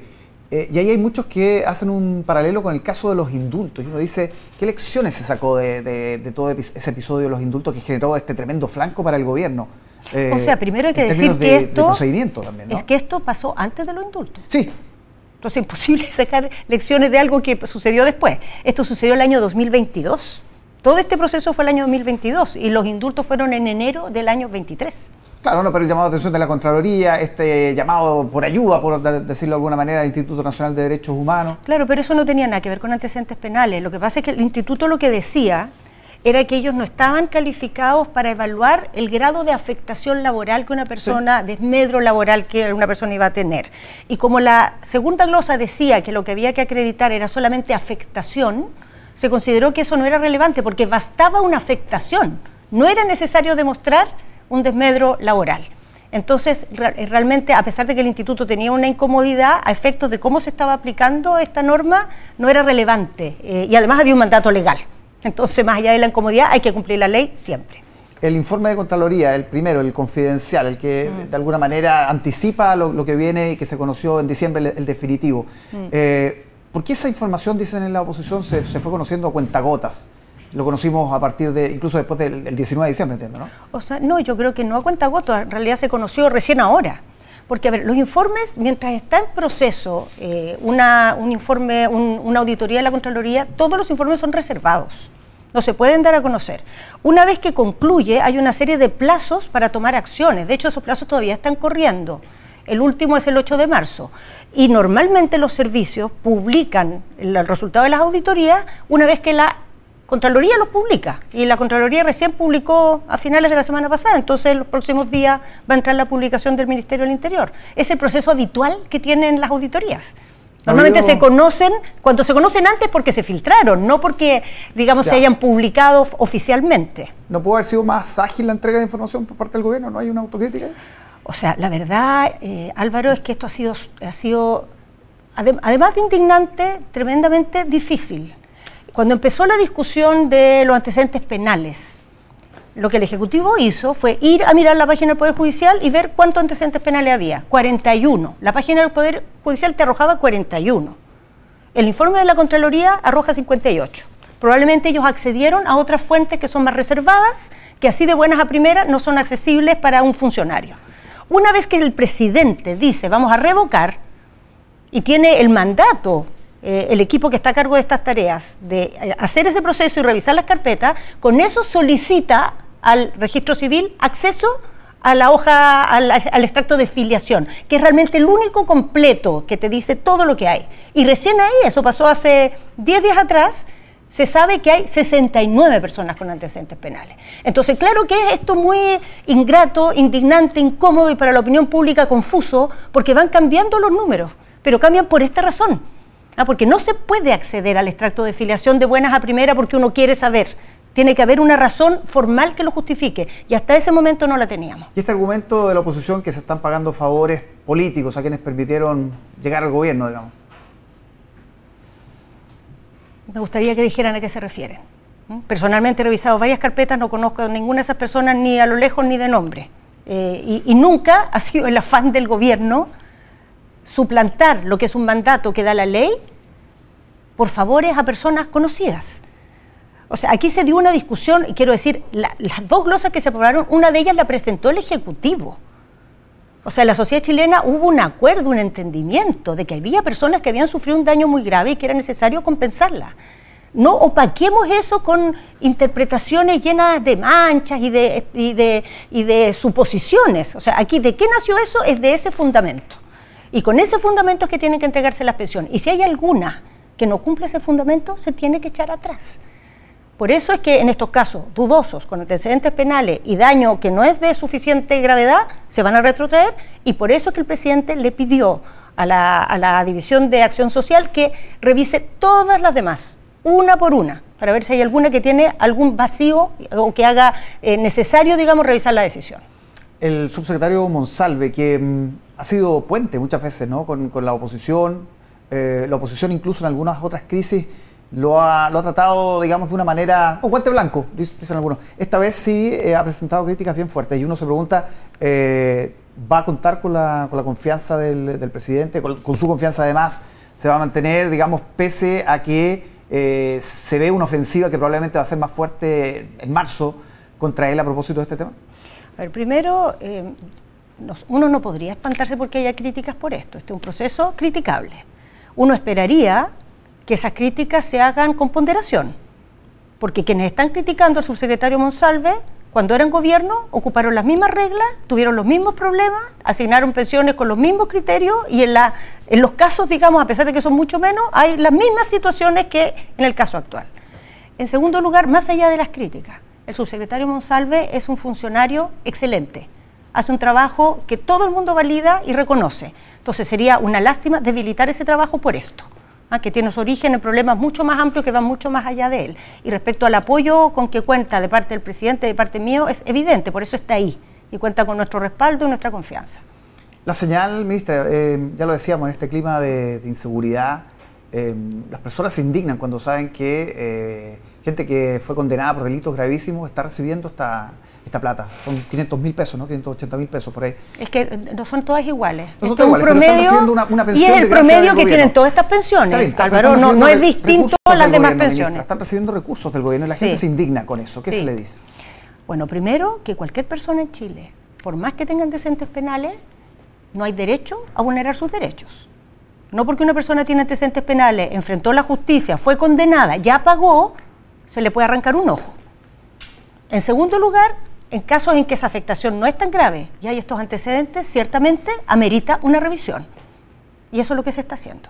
Y ciertamente la gente tiene derecho a pedir, y nosotros presentamos eh, una iniciativa en el Parlamento para eso, que de aquí en adelante, cada vez que un presidente o una presidenta entregue una pensión de gracia, tenga la vista a los antecedentes penales. No quiere decir que si los hay, no la entregue, pero tiene que saber ¿ah? Eso que no existió hasta ahora, ni en estas pensiones, ni en las del carbón, ni en las de los portuarios, ni las que tienen origen social, va a cambiar hacia adelante. Porque en eso sí la gente tiene derecho a indignarse de que esto ni siquiera esté a la vista. O es una falencia sin duda del proceso. Uno de los partidos de gobierno más poderosos, el Partido Comunista, eh, ha advertido que podría ir a la Corte Interamericana de Derechos Humanos si se revocan algunas de estas pensiones de gracia. Y uno dice, ¿Qué pasa al interior, digamos, con, el PC, digamos, advirtiendo sobre esto? A ver, el, Ejecutivo cuando esto empezó eh, pasó por todas esas dudas, si esto se iba a poder defender ante cualquier organismo que lo revisara. De hecho, eh, no sé si sabe Álvaro o los espectadores saben que varias veces salió en la prensa que había una disputa en el gobierno entre los que decían que se podían, digamos, revertir las pensiones y los que decían que no.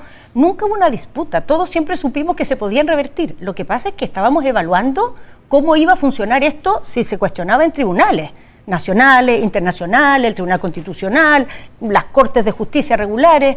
Y esa evaluación, que la hicimos muy detalladamente, tomando en cuenta todos los elementos, nos llevó a la conclusión de que íbamos a poder defender esto en cualquier lugar donde se cuestionara. Entonces, no nos parece extraño que un partido político se haga las mismas preguntas que nos hicimos nosotros en su momento. Está dentro de sus atribuciones hacer uso de estas instancias, aunque ciertamente nosotros siempre preferimos que los partidos oficialistas estén detrás del gobierno. Cuando eso no sucede, mm, tenemos claridad de que estamos actuando correctamente y que hemos tomado todas las precauciones para que en ningún tribunal se retrotraiga lo que decidamos. Claro, pues si se llegara a concretar un partido de gobierno presentando acciones contra el gobierno en tribunales internacionales. Bueno, a ver, Álvaro, por cierto, no es lo que uno quiere pero hay tantas cosas que uno no quiere, uno tiene que enfrentar lo que le toca, ¿no? eh, y creo que el gobierno en esto tiene una posición sólida y creo que en la medida que se vaya conociendo el detalle de cómo fueron estos procesos y por qué hemos llegado a esta conclusión, eso va a ir también allanando una comprensión de las decisiones que se han tomado. Eso esperamos. La UDI pidió un proyecto para revocar las pensiones derechamente. Mm. No sé si se lo han planteado o qué piensa de eso. Sí, pero nosotros llegamos a la conclusión de que no era necesario que había una atribución administrativa y que lo que sí era necesario era corregir el proceso hacia adelante. Entonces nosotros lo que queremos hacia adelante es que siempre se tenga que mirar los antecedentes penales en primer lugar y segundo, que una persona que ya tiene la pensión de gracia, que ya, se ya obtuvo una gracia presidencial, si comete delitos de una cierta gravedad hacia arriba, la pierda. Porque cuando tú tienes una gracia presidencial tienes que comportarte adecuadamente. Bien, hablemos de la reforma a las pensiones una cáscara sin contenido, dicen eh, en la oposición, se aprobó la idea de legislar, pero los aspectos fundamentales quedan para una definición en marzo, en la incertidumbre, donde sabemos que en el Senado el gobierno no tiene suficientes votos, que va a tener que negociar prácticamente todo. ¿Cómo se analizó eh, en la moneda del comité político esta, esta aprobación, pero también una victoria, dicen algunos, a lo pirro? A ver, primero, eh, Álvaro, se han dicho dos cosas. Eh, que quiero ambas aclararlas. Primero que esto es un cascarón vacío y segundo que es eh, ideologismo del gobierno. Eh, nosotros creemos que, que, esto se haya votado y se haya aprobado en general es un avance. Después de 14 meses podemos continuar esta tramitación y en esta tramitación se logró la aprobación de elementos muy significativos. Es verdad que hay algunos que no se aprobaron, pero de los 21 temas más importantes que tiene la reforma, 18 se aprobaron. Esta reforma, lo que se aprobó, ya es más grande que la reforma previsional de la presidenta Bachelet. Ya es más significativa desde el punto de vista de cómo cambia el sistema de pensiones. Ya es más grande eso. Sí, ya es más grande con lo que hay. ¿Qué se aprobó? Se aprobó que exista una PGU con un sistema de financiamiento propio. Se aprobó la división de la industria. Se aprobó que la comisión no fuera por el sueldo, sino por saldo, saldo acumulado de ahorro. Se aprobó que hubiera licitación de afiliados, se aprobó que se aumentara la renta eh, máxima imponible y se aprobó eh, que existiera el seguro social, aunque no su, su funcionamiento, pero sí la existencia del seguro social. Y por último se aprobó que el sistema previsional deba garantizar un sistema por el cual se igualen las pensiones de hombres y mujeres. Si eso es un puro cascarón, es no conocer lo que es la realidad de un pensionado y cómo estas cosas afectan a los pensionados. Y que hay ideologismo, quiero decir, que hay ideologismo. A ver, este proceso, estos 14 meses en que hemos estado trabajando, para el Ejecutivo, que tiene mucha conciencia de no tener mayoría ni en la Cámara ni en el Senado, significó dar una serie de pasos. Este proyecto es un proyecto diametralmente distinto del original.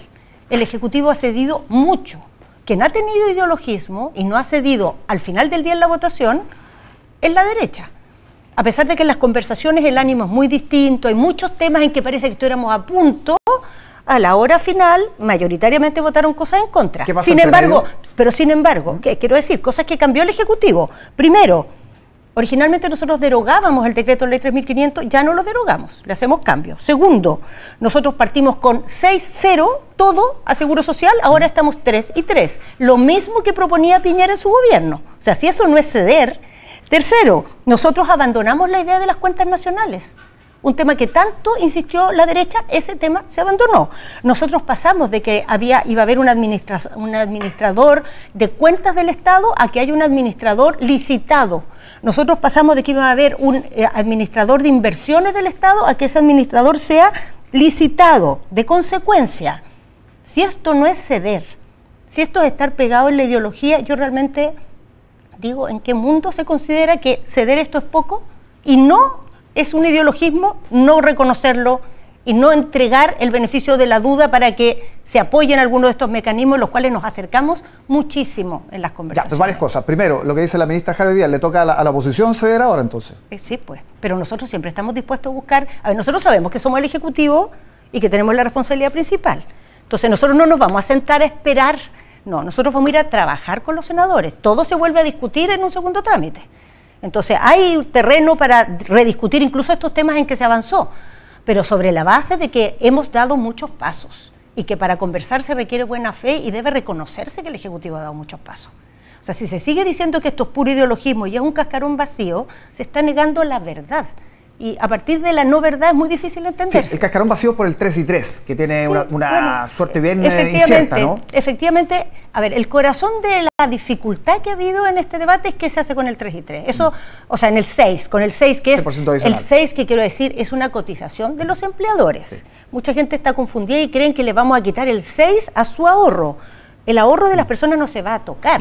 Esta es una cotización adicional que van a hacer los empleadores y hay que decidir cómo se va a administrar y se va a, distribuir. Y para eso yo creo que lo importante es no irnos a la discusión 3-3, 4-2, no, sino que qué queremos lograr con este 6.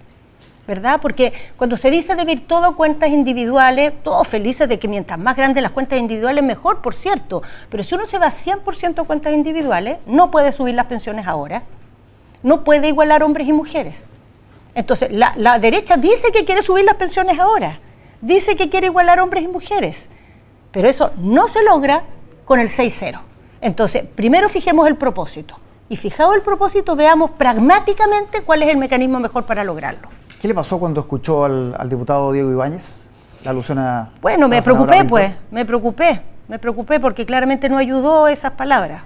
No ayudaron, pero no, quiero entrar en calificarlas, no me parece útil, pero, claramente en ese momento no fue algo que ayudara. ¿Le llamaron la atención? ¿Lo llamaron después? ¿Le dijeron algo? por supuesto, todo el mundo conversó en esos minutos, horas. ¿Usted habló con él?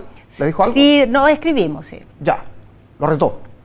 No, no. A ver, el diputado inmediatamente con las personas aludidas tuvo conversaciones, intentó calmar de alguna manera, mm, echar para atrás lo que había pasado, pero bueno, eh, eh, igual esto no ayudó.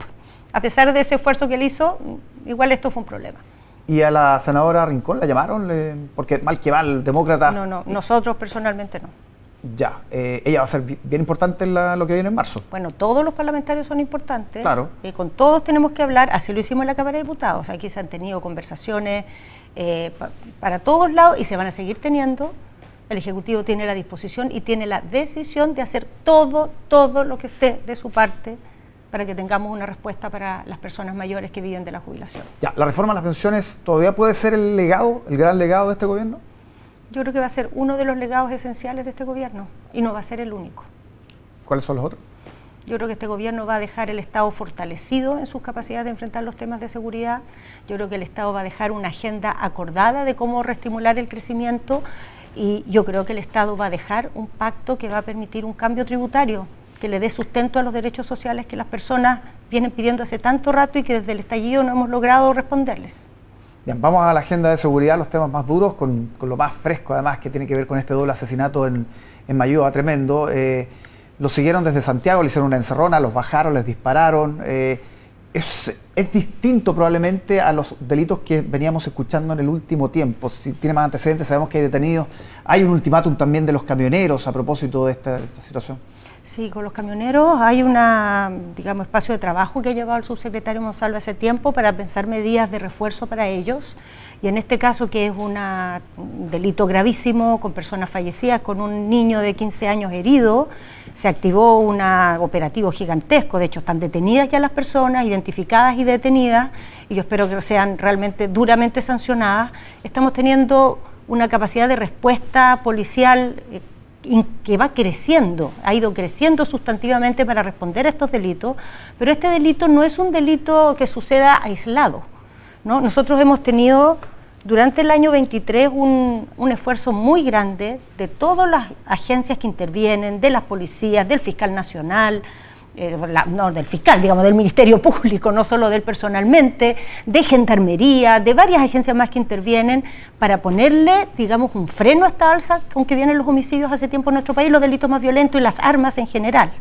Todavía no tenemos el balance del año, tenemos del primer semestre, pero ya sabemos por los datos provisorios que a pesar de que durante el 2023 esta curva logramos frenarla bastante, en el mes de noviembre, especialmente en diciembre, las primeras semanas de enero, ha habido un salto en los delitos violentos y sobre todo en la violencia de esos delitos más violentos. Hemos visto homicidios especialmente escabrosos, horrendos, que son cosas que a todos nos impresionan, nos horrorizan y que requieren una respuesta intensificada. Por eso como Ejecutivo hemos estado trabajando no solo, hemos trabajado también con los municipios, ha habido varias reuniones con los municipios, hemos tenido una serie de sesiones con las policías, también con las Fuerzas Armadas, para pensar medidas adicionales que se implementen en esta etapa y para lograr que no retrocedamos lo que logramos durante el 23 y que profundicemos estas estrategias que hemos ido desarrollando. En la próxima semana seguramente vamos a tener esa agenda ya definitiva y la vamos a anunciar formalmente, pero hay un avance bastante claro de la dirección en que vamos a ir. Ya, pero ¿qué se puede adelantar? A ver, criterios generales, ¿no? Primero, el foco está gran, principalmente en región metropolitana. ¿no? Región metropolitana es a resultado particularmente compleja, es muy grande, son muchas comunas, las necesidades son infinitas en distintas realidades que la región tiene. Entonces, el foco aquí va a ser hacer un refuerzo muy significativo, extremando todas las posibilidades de presencia policial. Eso se va a hacer de varias maneras. Una muy importante es que vamos a hacer una red de puntos de control en toda la región, de aproximadamente 50 puntos de control móviles que van a estar funcionando de manera permanente, van a partir en febrero hasta llegar a 50 en las siguientes semanas. Permanente, eso, eso se queda. Sí, sí, eso se queda. En segundo lugar, vamos a hacer una reorganización eh, y también una mejora en la cómo nos complementamos con militares en zonas que tenemos estado de emergencia para permitir un refuerzo de funcionarios efectivos COP que son carabineros de orden público, digamos, los más preparados para enfrentar situaciones violentas, eh, junto con el GOPE, que va a significar más o menos trasladar un 10% de la fuerza COP en total para reforzar en la región metropolitana. Y tercero, hemos trabajado y estamos viendo los mecanismos con algo que a nosotros nos preocupaba y también le preocupaba mucho al alto mando de carabineros, para hacer una gestión y bajar los niveles de licencias que estamos teniendo en carabineros, que en algunos lugares son extremadamente altas, anómalamente altas. Y para eso hay una serie de medidas de gestión que vamos a desarrollar que van a tener por objeto atacar ese punto. Ahora, el detalle de esto lo vamos a, dar a conocer en los próximos días, lo hemos estado pimponeando con el presidente, desde sus vacaciones no se desconecta, eh, pero lo tenemos que formalizar ahora que regrese eh, y ahí los vamos a poder informar más, de manera más completa militares se están pidiendo algunos alcaldes, incluso del oficialismo, como el de Estación Central. ¿Eso el gobierno lo descarta, militares en la calle, por ejemplo, en puntos específicos de, la Estación Central? A ver, primero, eh, el Ejecutivo tiene en el Parlamento un proyecto que, es, eh, que presentó el presidente Boric, para poder eh, desplegar militares de protección de infraestructura crítica, como por ejemplo estaciones de metro,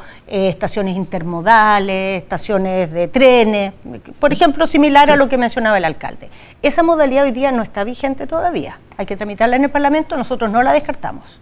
No la descartamos. Pero en esta vuelta que yo le decía de reuniones, que además hemos tenido muchas reuniones con técnicos y expertos, eh, la posibilidad de irnos por el camino de estado de emergencia parece mejor esta alternativa de reforzar presencia policial.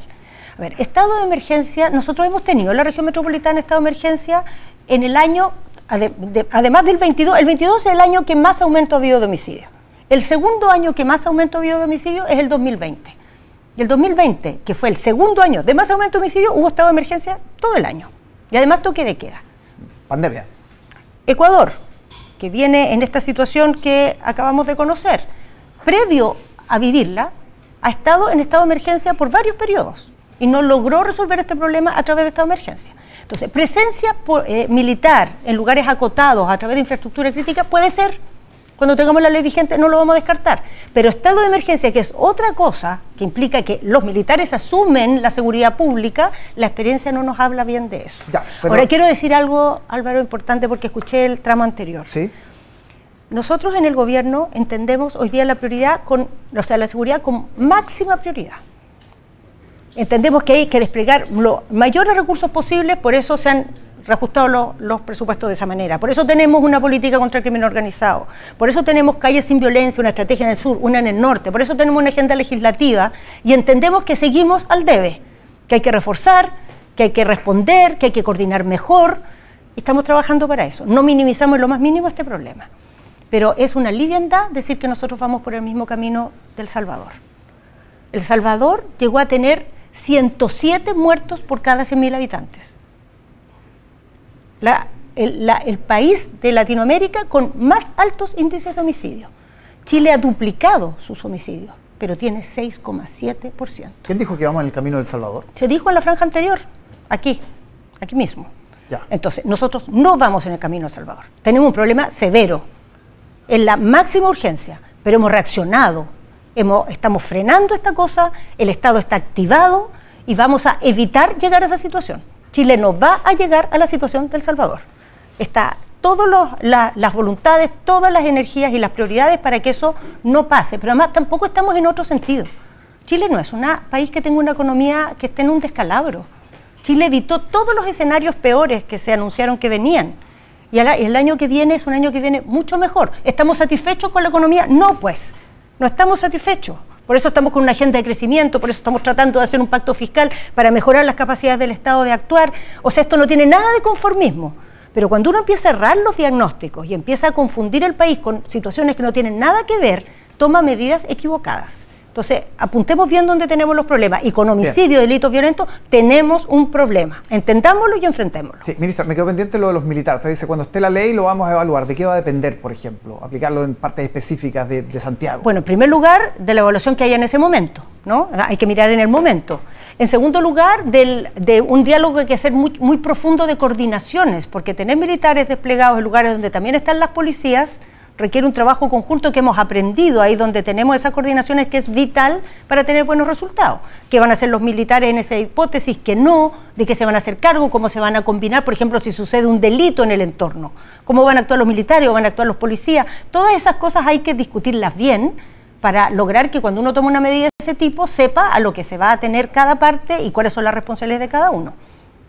Esa ley está con urgencia, nosotros esperamos que se despache rápido porque en teoría hay bastante acuerdo en crear este mecanismo. Sí, debería ser luego. No, me estaba acordando que la semana pasada en este mismo programa la delegada Constanza Martínez mm. dijo que siempre está en evaluación de decretar estado de excepción aquí en la región metropolitana. Así es. Entonces mucha gente se pregunta qué tiene que pasar para que eso ocurra. Que nos convenzamos que es una buena medida, pues que se convenzan las Fuerzas Armadas cuando nos sentamos con ellos a conversar de la posibilidad de esta hipótesis, cómo se le imaginan, qué pasaría, qué problemas habría, si conviene, si no conviene, si es mejor. O sea, ninguno de los actores que tiene realmente un eh, conocimiento detallado de esto cree que esta es la medida que más necesitamos. Ahora, nosotros hemos llegado a la convicción de que las Fuerzas Armadas sí pueden ayudarnos, porque primero está la infraestructura crítica, y segundo, podemos reforzar o reordenar los lugares donde están desplegadas las Fuerzas Armadas para que cubran aún más los servicios que están haciendo y de esa manera podamos tener, por ejemplo, algunos funcionarios COP que puedan eh, desplazarse a la región metropolitana. Entonces podemos hacer un trabajo coordinado con la Fuerza Armada. Esta semana hablamos de pensiones de gracia, hablamos de la reforma de las pensiones y por primera vez en varias semanas nos hablamos de, de Cheese and Wine, de mm.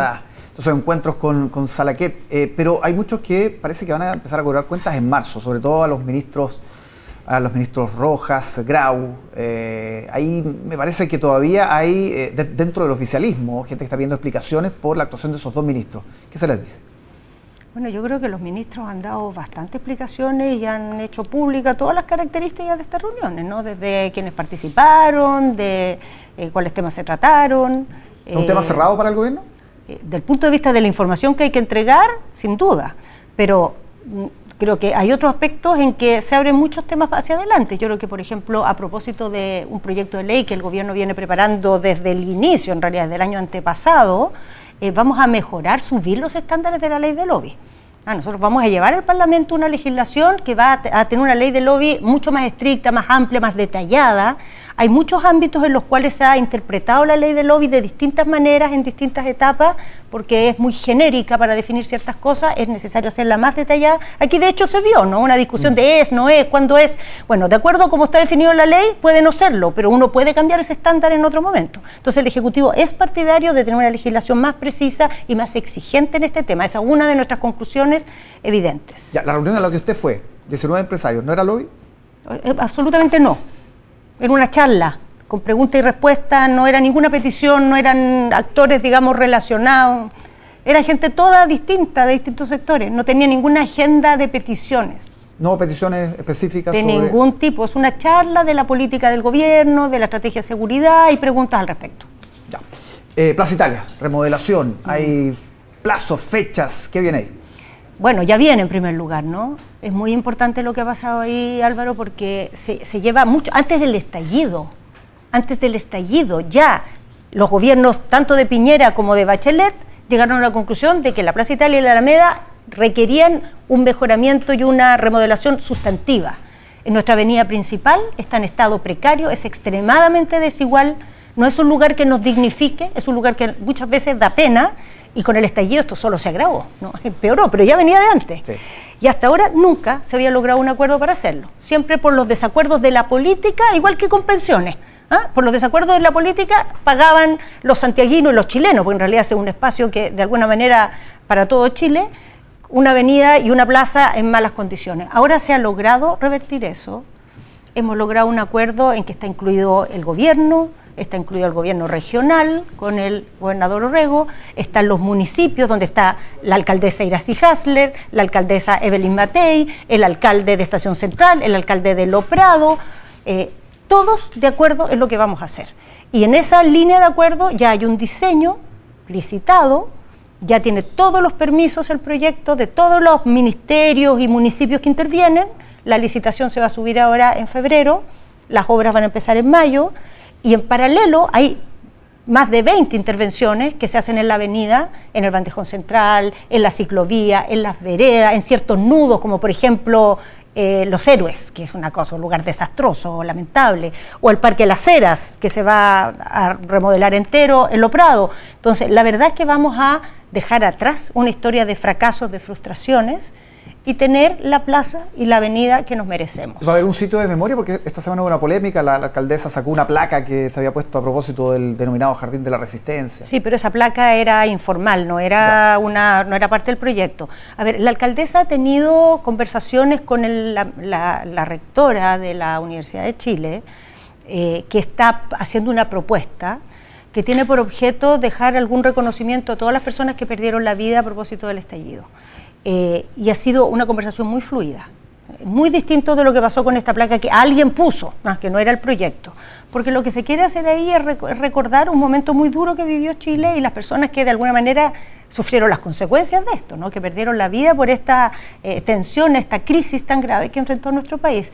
Y yo confío en que en eso, si se hace bien, como hasta ahora se ha buscado hacer, sin estar en la polémica chica, sin tratar de cobrarse cuentas, sino tratando de desarrollar una propuesta al país a la sociedad que dé cuenta de este hecho histórico, vamos a lograr una buena fórmula. Veíamos las imágenes, eh, se ve el plinto. Mm. El general Baquedano suponemos que no va a volver. ¿Qué va a haber ahí? No, eh, a ver, no se pone nada ahí porque eso se tiene que decidir en un proceso que va a ser participativo, en que va a participar ciertamente el municipio, que es donde queda la plaza, y la sociedad, que de respecto a esto ha discutido tanto, para que ahí tengamos el monumento que mejor, de alguna manera, represente a la sociedad chilena. No puede ser un monumento de disputa tiene que ser un monumento de unidad, de reconocimiento, que como sociedad nos proyecte. Entonces eso todavía no está definido, por eso sale vacío. Pero todo lo demás está definido. Todo lo demás está diseñado y en el fondo términos gruesos, lo que conocemos como la rotonda, se va a correr hacia el norte y va a ser un gran parque y la avenida va a ser una avenida solamente, sin rotonda. Y con eso vamos a ganar un gran espacio público una, que más va a conectar los parques, ¿no? El parque que viene desde Providencia hasta el parque forestal en una continuidad. Un viejo anhelo además de, de los Así es, ahora va a ser una realidad. Sí, exactamente. Ministra Carolina Toa, muchísimas gracias por acompañarnos aquí en Mesa Central. Gracias a ustedes. esté muy bien. Pausa, ya regresamos, no se vaya.